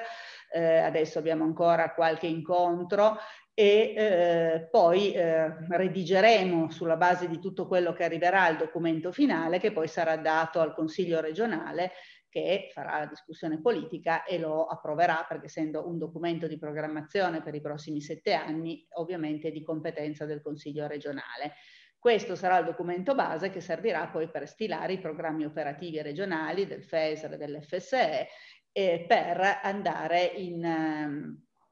per poi arrivare alla produzione proprio dei, dei POR dove ci saranno proprio gli assi, le misure, insomma la ripartizione delle risorse. Eh, parliamo poco di FEASR, quindi di agricoltura, perché il FEASR ha avuto un percorso parallelo diverso, c'è stata una proroga di due anni rispetto alla, alla passata programmazione e quindi la programmazione nuova del FEASR si farà eh, con dei tempi diversi e con delle regole eh, molto eh, definite per il FEASR e quindi in questo momento noi eh, siamo concentrati sulla programmazione invece FESR FSE che abbiamo bisogno che parta più in fretta possibile perché la 1420 è praticamente finita e eh, noi dobbiamo correre per fare in modo di poter utilizzare le risorse 21-27 perché se no abbiamo un problema naturalmente di eh, un anno di vuoto che non possiamo permetterci perché eh, le nostre attività devono proseguire.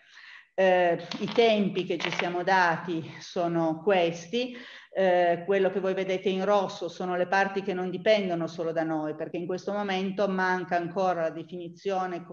totale del quadro regolamentare da parte della Commissione europea e anche dell'accordo di partenariato che è quell'accordo che lega l'Italia con la Commissione europea dove ci saranno le regole di che cosa si può e che cosa non si può finanziare. Quindi in questo momento ci mancano ancora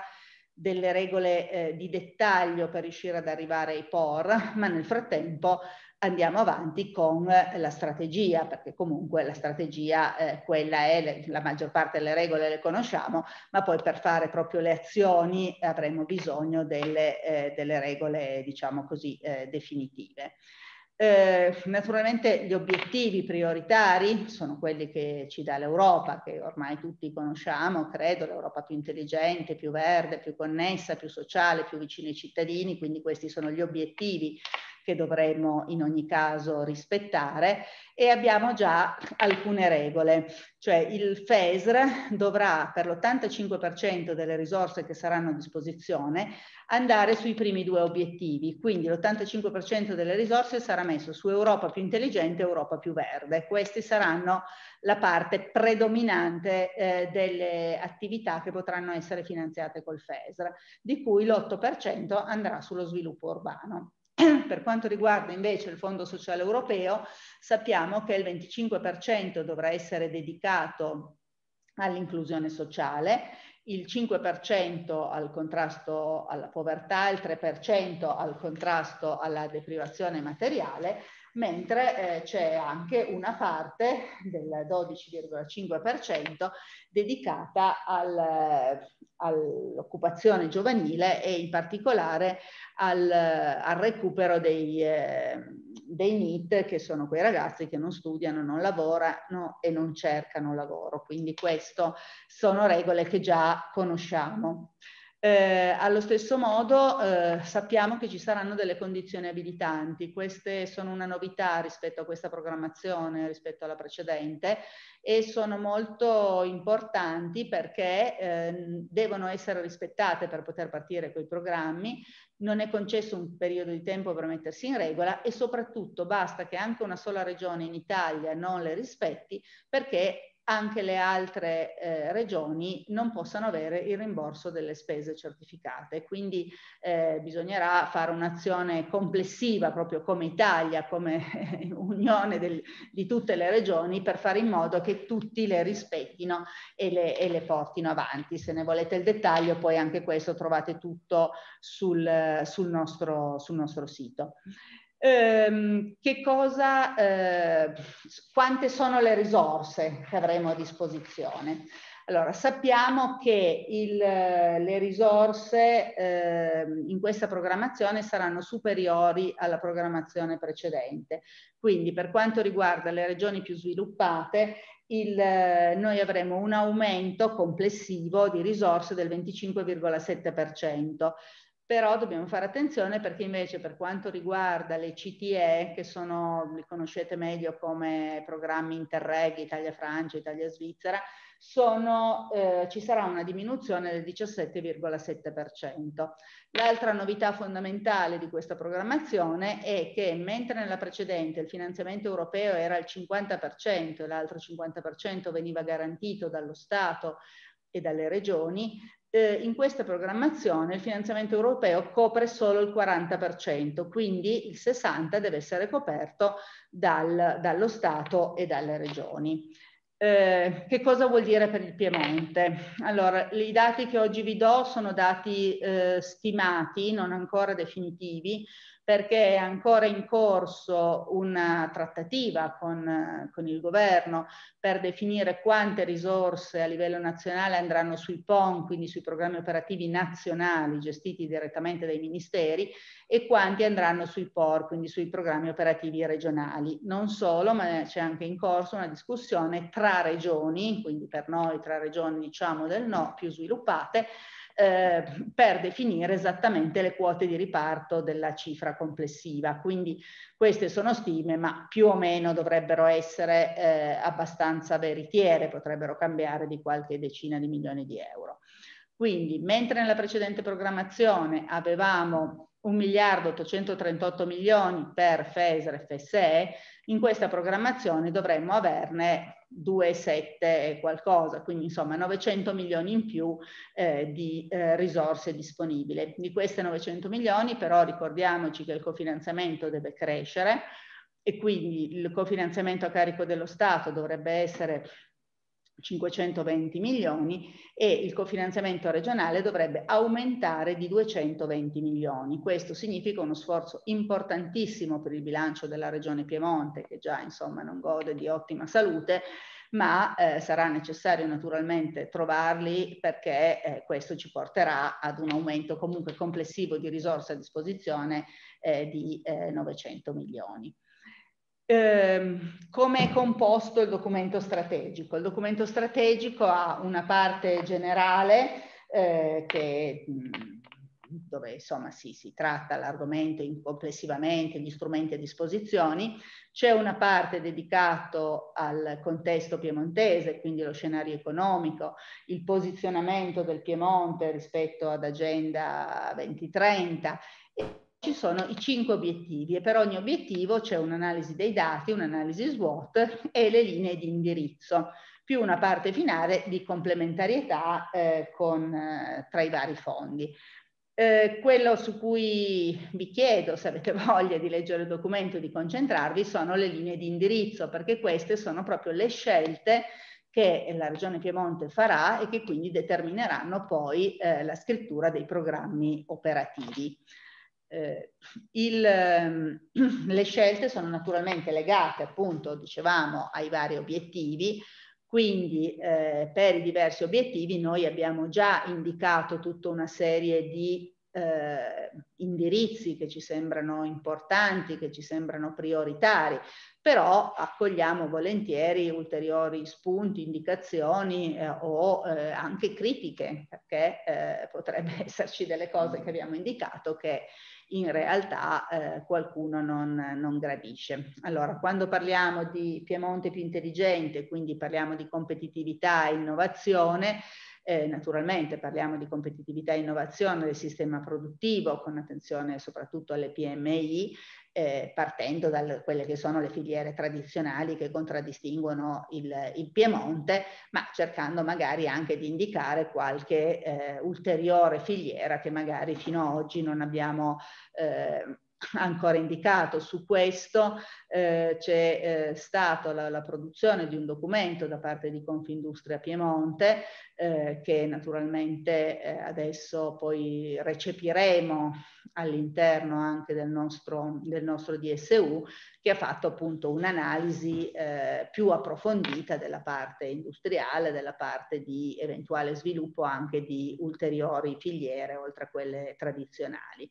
Eh, parliamo naturalmente di tecnologie digitali, di servizi digitali perché sono eh, importantissimi mh, mm, sia per i cittadini, sia per la pubblica amministrazione, sia per le imprese, eh, del rafforzamento dei processi di crescita e competitività delle PMI, di formazione, tra l'altro in questo nostro eh, tour sui territori è stata credo la cosa che più è stata richiesta, formazione, formazione, formazione per i lavoratori, formazioni per eh, chi deve entrare nel mercato del lavoro, alta formazione eh, per eh, avere le competenze necessarie appunto a, questo, eh, a questa realtà nella quale ci troviamo e che è in sviluppo eh, velocissimo. E quindi c'è bisogno veramente di eh, aiutare tutti, pubblica amministrazione, imprese e, cittadini a crescere e a eh, acquisire eh, nuove competenze. Eh, si parla di mobilità sostenibile, di nuovi vettori energetici, naturalmente di idrogeno, infatti questo tema ci è caro anche molto sul PNRR, eh, sul quale eh, insomma speriamo di avere una, una, una parte comunque eh, significativa rispetto a questa tematica. E poi naturalmente tutto quello che riguarda la bull e non solo, quindi le connessioni, perché sappiamo quanto siano importanti e quanto, ahimè, ancora abbiamo da fare sul territorio piemontese perché abbiamo tanti territori che ancora non hanno delle connessioni, diciamo, eh, funzionali eh, a quello che, che servirebbe. Eh, sull'obiettivo 2, che insieme all'obiettivo 1 abbiamo detto che sono quelli dove andranno le maggiori risorse del FESR, si parla di clima e energia, risorse naturali, economia circolare, quindi tutto quello che sono le infrastrutture verdi in ambiente urbano e periurbano, quindi rispetto a quello che diceva eh, Robiglio prima, naturalmente qui potrà, si potranno trovare delle risorse dedicate, abbiamo naturalmente l'efficientamento energetico del patrimonio edilizio pubblico, lo sviluppo di reti, strutture, impianti di stoccaggio dell'energia, il supporto alla produzione di energie rinnovabili, tutto quello che riguarda l'adattamento ai cambiamenti climatici, la prevenzione dei rischi, l'economia circolare, la gestione forestale sostenibile, la gestione sostenibile delle risorse idriche, la, la riduzione degli inquinanti, il rafforzamento della bio, biodiversità, la tutela del paesaggio, la tutela del suolo, il miglioramento della qualità dell'aria che sappiamo eh, insomma che in questo periodo è particolarmente eh, diciamo un argomento di, di grande interesse e la ciclabilità. Eh, sulla parte dell'obiettivo terra reti, trasporti e logistica, si parla naturalmente di logistica, anche questa è una richiesta enorme che è emersa dal, dal territorio in moltissimi, moltissimi, fronti e anche di trasformazione digitale della logistica, perché sappiamo quanto il digitale applicato alla logistica possa eh, migliorarne eh, l'efficienza e l'efficacia eh, lo sviluppo del, del, trasporto su ferro, l'intermodalità e le reti ciclabili di nuovo che sono comunque una, anche un, una priorità che questa regione si, si vuole dare eh, nel, insomma, sua, nei suoi investimenti. Eh, passiamo invece all'obiettivo 4 che è il Piemonte più sociale. Eh, questo naturalmente è più competenza del fondo sociale, si parla di occupazione, di competenze, di inclusione, quindi adesso non vi eh, elenco tutte le varie cose che abbiamo scritto sul documento, ma eh, naturalmente parliamo di formazione, di alta formazione, di inserimento lavorativo, di tirocini, di apprendistato, eh, di sostegno alla partecipazione delle donne al mercato del, del, lavoro, ma anche di sostegno alla creazione di impresa, così come eh, la lotta alla dispersione scolastica e eh, il, ehm, in questa parte eh, vanno anche, eh, perché così è previsto negli obiettivi, anche se poi in realtà possono essere anche eh, su altri aspetti, il sostegno al turismo, al patrimonio culturale paesaggistico, al percorso di valorizzazione delle, delle residenze sabaude, il sostegno allo sport, alle qualificazioni degli impianti sportivi, anche se su questo magari poi ci potrebbero essere anche delle misure, ad esempio sulla parte più dove si parla di energia e di risparmio energetico, perché sappiamo quanto gli impianti sportivi siano energivori e quindi quanto si possa, ehm, se si lavora su questo aspetto, eh, cercare di ridurre veramente eh, le, insomma, i consumi anche poi a, a favore di, di, di un utilizzo negli anni anche per sgravare un po' il, il bilancio eh, degli enti che gestiscono questi impianti che eh, oggettivamente sono, eh, sono molto costosi. Um, sul, sull'obiettivo 5, lo sviluppo dei territori e la capacità amministrativa, eh, si parla di rafforzamento della capacità amministrativa, ma anche, anche, qui di nuovo di rigenerazione urbana, rilancio delle periferie e una città a misura dei cittadini, quindi verde, sostenibile, eh, vicina eh, insomma, ai cittadini, e noi vorremmo eh, implementare molto la progettazione integrata di area, cioè cercare, eh, questo riguarda soprattutto le aree, diciamo non ovviamente la città, eh, le città capoluogo, ma sulle aree del Piemonte cercare di avere delle aree omogenee sui quali fare dei progetti che siano di sviluppo di un'area, che non siano progetti singoli eh, che poi diciamo non, non riescono a innescare eh, degli sviluppi, ma fare invece del, delle azioni veramente di, eh, di, progettazione integrata di area, di superamento del digital divide, eh, lo sviluppo delle aree interne, ma anche un'attenzione alle città medie, perché si è parlato spesso di borghi, si è parlato di città metropolitana, però eh, le città medie possono avere un ruolo importante sul territorio. Quindi quello che io vi chiedo è di, se avete voglia, di leggere il documento eh, che trovate sul sito www.piemonte2021-2027.eu e eh, mandarci i vostri contributi. Possono essere contributi scritti oppure possono essere scritti direttamente sul modulo che trovate eh, sul sito. Però a noi interessa molto eh, fare in modo che questo documento strategico sia veramente la strategia del Piemonte per i prossimi dieci anni per eh, insomma, dare forma a questo futuro che vogliamo costruire tutti insieme. Quindi vi ringrazio e spero di essere stata chiara. Chiarissima e grazie mille per il prezioso contributo, di, eh, direttrice Casagrande. A questo punto darei la parola prima delle conclusioni a cura della sindaca metropolitana Appendino al direttore generale della, sempre della città metropolitana Filippo Dani per il suo intervento relativo all'attuazione del piano strategico. Sì. Allora, buongiorno a tutti. Io mh, mm, cerco di essere breve perché non voglio rubare tempo alle conclusioni di questo incontro. Brevemente, ehm, volevo solo, mm, diciamo così, condividere con voi l'impostazione che la città metropolitana eh, vuole dare dal punto di vista più organizzativo per seguire anche l'attuazione del, del, mm, l'attuazione del nostro piano strategico. Allora, diciamo subito che il fatto di ehm, avere impostato il nostro piano eh, strategico su, eh, sulle sei missioni che sono quelle del piano nazionale eh, di ripresa e di resilienza del PNRR, eh, fa sì che mh, da un lato implementando il nostro piano strategico abbiamo la possibilità in una logica bottom up anche di eh, eh, implementare e di contribuire anche alla realizzazione del piano nazionale. Dall'altro lato che le azioni che vengono individuate all'interno di questo quadro possono trovare anche eh, eh, ehm, finanziamento ehm, e parlo soprattutto delle azioni di sviluppo locale.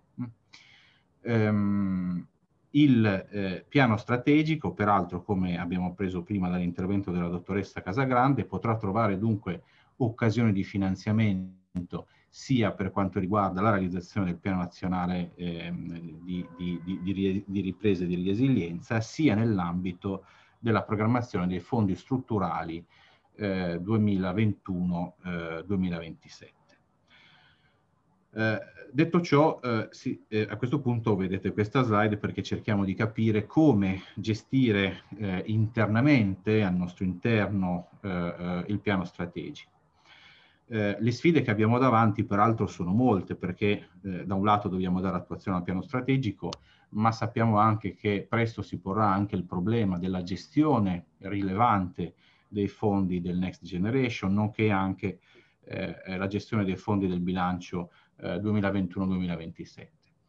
Eh, e quindi è evidente che bisogna individuare eh, un dipartimento, un ufficio che sarà il coordinatore all'interno del nostro ente. Questo questi uffici sono quelli che fanno capo al, eh, eh, alla, al Dipartimento dello Sviluppo, eh, dello sviluppo Economico. Eh, sapete che il dirigente del Dipartimento è il dottor Lupo. Eh, ringrazio lui, ringrazio eh, i dirigenti del Dipartimento, ringrazio anche i funzionari e tutti i collaboratori perché eh, loro ovviamente hanno avuto il merito principale nell'elaborazione di questo piano strategico e saranno anche i principali soggetti che poi saranno chiamati ad attuarlo, anche in seguito.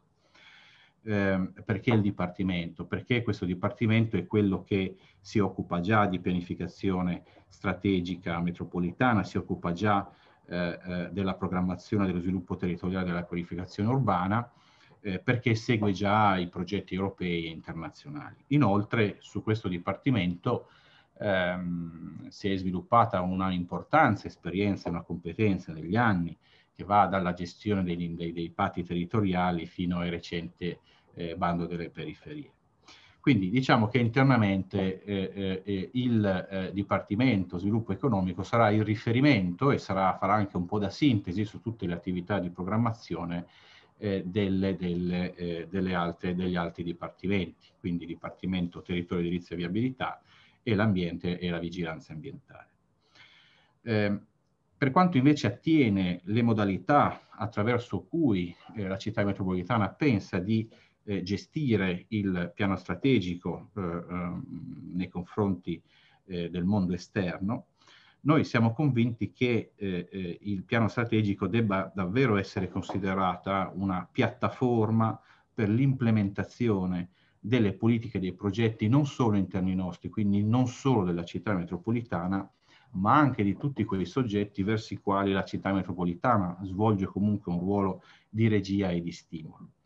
Eh, l'idea insomma è quella di far sì che anche l'implementazione del piano strategico sia condivisa esattamente come è accaduto nella fase di costruzione del piano.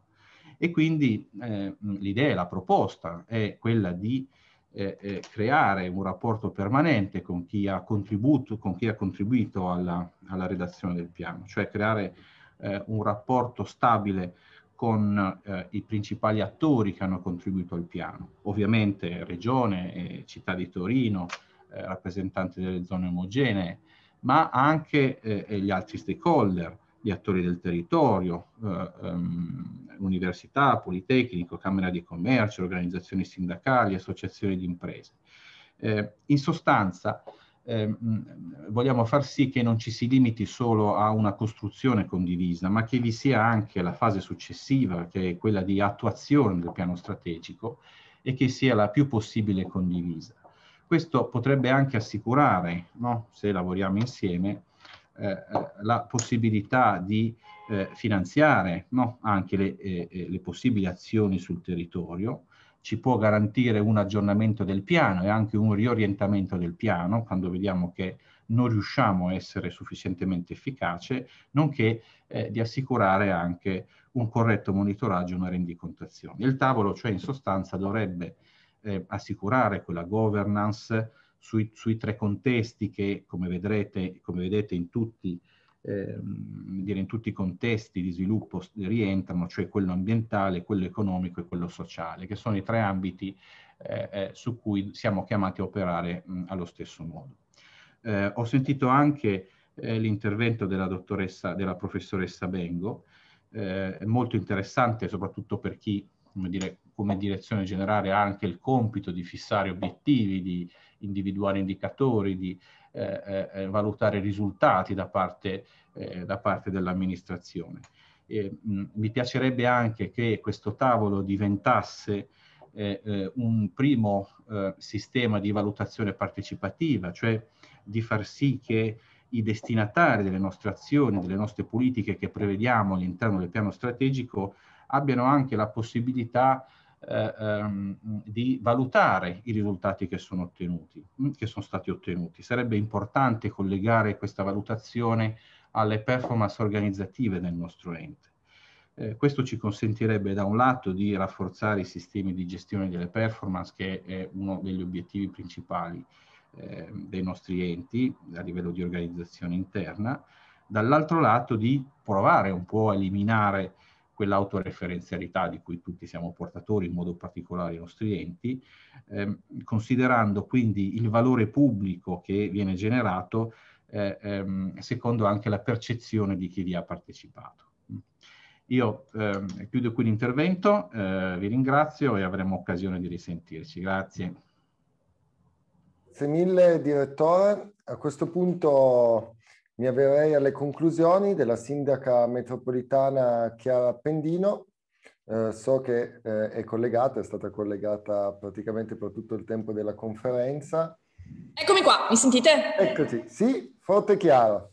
Buongiorno a tutti e a tutte, grazie ovviamente a chi ha partecipato non solo nella giornata di oggi, ma a tutti quei soggetti che hanno contribuito alla redazione di questo piano strategico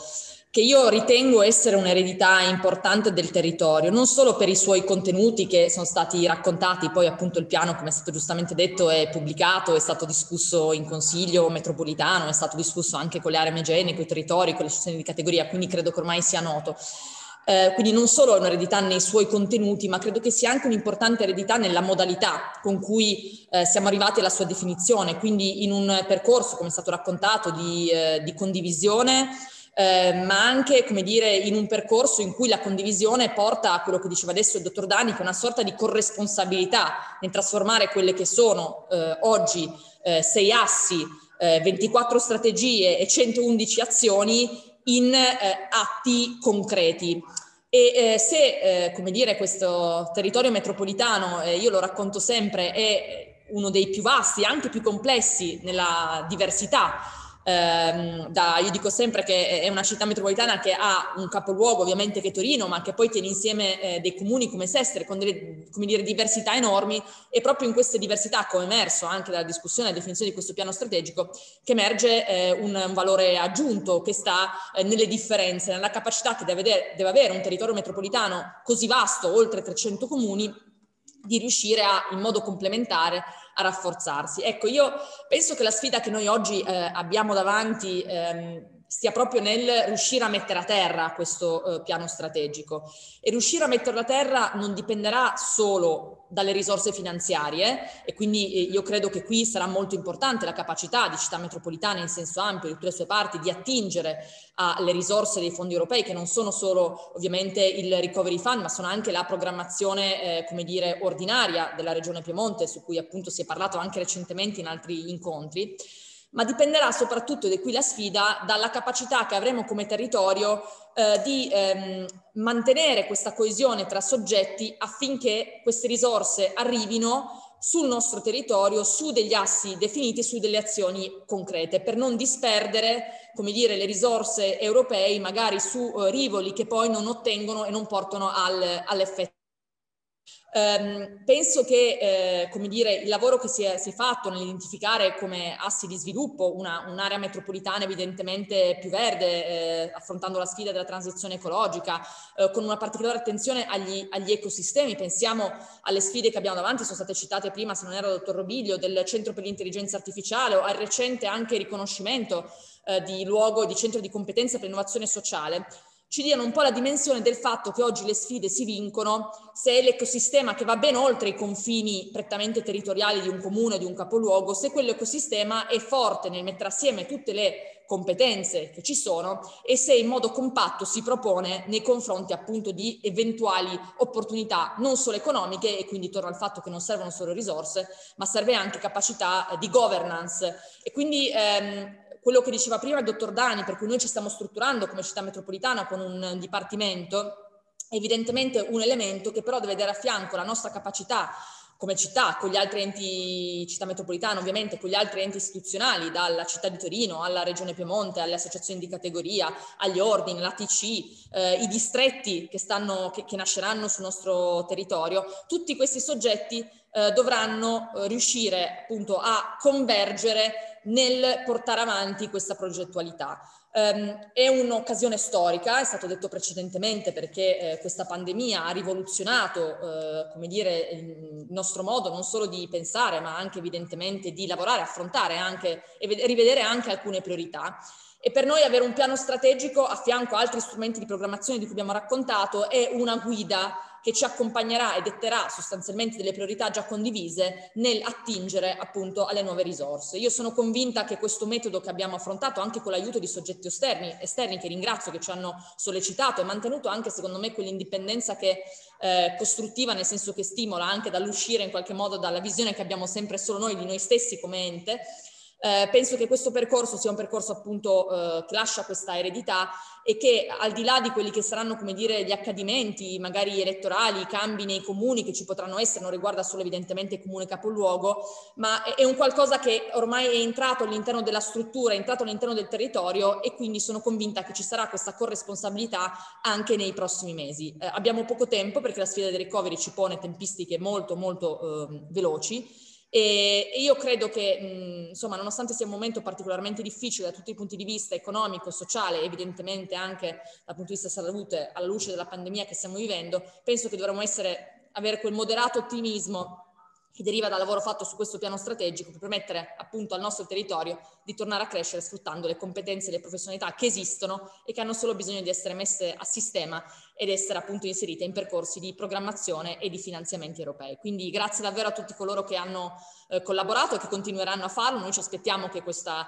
eh, dire, questo approccio possa continuare anche nei, nei, prossimi mesi e sono certa che da qui potranno, potremo trasformare appunto gli assi in azioni concrete che poi arriveranno a migliorare eh, la qualità della vita dei nostri cittadini e delle nostre cittadine partendo proprio dal tema della sostenibilità, che non è solo ambientale, come sappiamo, ma anche economica e sociale. Quindi grazie a tutti e sicuramente ci rivedremo per ulteriori incontri perché come è stato anche raccontato c'è tutto un sistema anche di monitoraggio e come dire di, di recall che ci eh, porta al di là di quelle che possono essere le nostre connotazioni, il nostro eh, interesse personale a eh, riconfrontarci e far sì che questo piano possa cadere a terra il più velocemente possibile. Grazie. Grazie mille Sindaca, mi accordo anch'io ai ringraziamenti di tutti, a tutti coloro che sono stati presenti quest'oggi. Siamo arrivati al termine di questo incontro di presentazione del nuovo piano strategico 2021-2023. Eh, auguro una buona serata a tutti e si concludono i lavori. Grazie mille ancora.